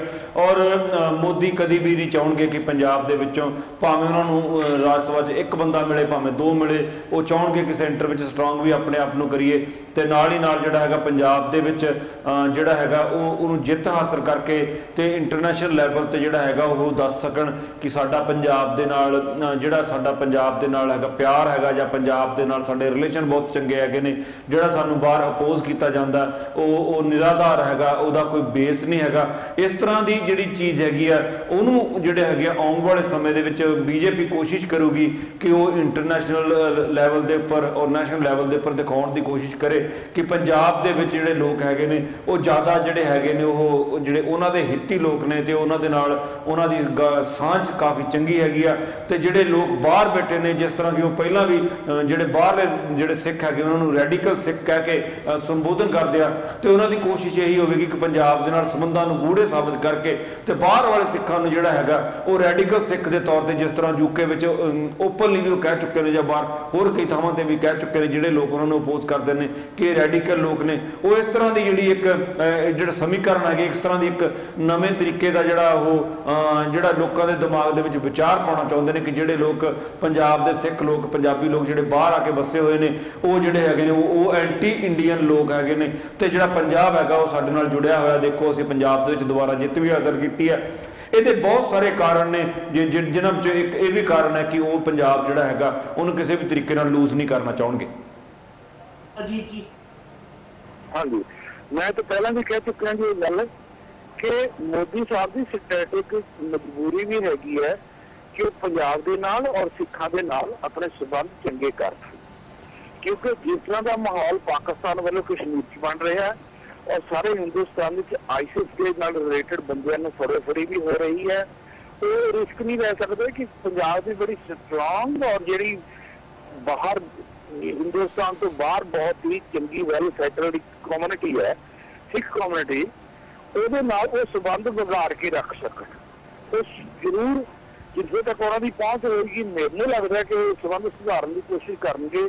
ਉਹਦੇ ਵਿੱਚ ਇਹ ਜਿਹੜੇ ਜਿਕਨਾ ਰਿਹਾਈ ਹੋ ਰਹੀ ਹੈ, ਬੰਦਿਆਂ ਦੀ ਉਹ ਵੀ ਤੇ ਕਾਲੀ ਜਿਹੜੀ ਸੂਚੀ ਹੈ ਉਹ ਖਤਮ ਕਰਨ ਦੀ ਗੱਲ ਤੇ ਨਾਲ ਹੀ ਪੰਜਾਬ ਦੀਆਂ ਚੋਣਾਂ ਜਿੱਤਣ ਦੀ ਗੱਲ। ਇਹ ਸਾਰੀਆਂ ਚੀਜ਼ਾਂ ਉਹਨਾਂ ਵਾਸਤੇ ਇੱਕ ਸਟ੍ਰੈਟੇਜਿਕ ਲੋੜ ਵੀ ਹੈਗੀ ਆ। ਔਰ ਮੇਰਾ ਖਿਆਲ ਹੈ ਵੀ ਉਹ ਇੰਨੇ ਤੇਜ਼ ਤਰਾਰ ਪੋਲੀਟੀਸ਼ੀਅਨ ਨੇ, ਉਹ ਆਪਣੀ ਲੋੜ ਨੂੰ ਚੰਗੀ ਤਰ੍ਹਾਂ ਸਮਝਦੇ ਹੋਏ, ਮੇਰਾ ਖਿਆਲ ਹੈ ਇਸ ਵੱਲ ਸਾਰਥਕ ਕੰਮ ਵਧਾਉਣਗੇ। ਜੀ। ਥੈਂਕ ਯੂ ਜੀ ਜੀ। ਥੈਂਕ ਯੂ ਦਿਲਰਾਜ ਜੀ ਐਂਡ ਥੈਂਕ ਯੂ ਕੁਲਵੀਰ ਜੀ। ਤੁਸੀਂ ਤਿੰਨੇ ਮੇਰੇ ਨਾਲ ਜੁੜੇ ਡਿਬੇਟ ਨੰਬਰ 2 ਚ ਵੀ ਆਪਣੇ ਵਿਚਾਰ ਸਾਂਝੇ ਕੀਤੇ। ਤੁਹਾਡੇ ਤਿੰਨਾਂ ਦਾ ਬਹੁਤ ਬਹੁਤ ਧੰਨਵਾਦ। ਨਾਲ ਹੀ ਦਰਸ਼ਕਾਂ ਨੂੰ ਜ਼ਰੂਰ ਬੇਨਤੀ ਕਰਨਾ ਚਾਹਾਂਗੇ। ਸਾਡੇ ਸ਼ੋਅ ਬਾਰੇ ਕੋਈ ਵੀ ਸੁਝਾਅ ਹੋਣ ਸਜੈਸ਼ਨ ਹੋਣ ਜਾਂ ਜੇ ਹੋ ਸਕਦਾ ਸਾਡੇ ਸੁਝਾਅ ਤੁਹਾਡੇ ਸੁਝਾਵਾਂ ਨਾਲ ਮਿਲਦੇ ਵੀ ਨਾ ਹੋਣ, ਪਰ ਕਿਉਂਕਿ ਇੱਕ ਡਿਬੇਟ ਸ਼ੋਅ ਆ, ਅਸੀਂ ਹਰ ਪੱਖ ਦੀ ਗੱਲ, ਹਰ ਤਰੀਕੇ ਦੀ ਗੱਲ ਤੁਹਾਡੇ ਸਾਹਮਣੇ ਪੇਸ਼ ਕਰਨ ਦੀ ਕੋਸ਼ਿਸ਼ ਕਰਦੇ ਹਾਂ।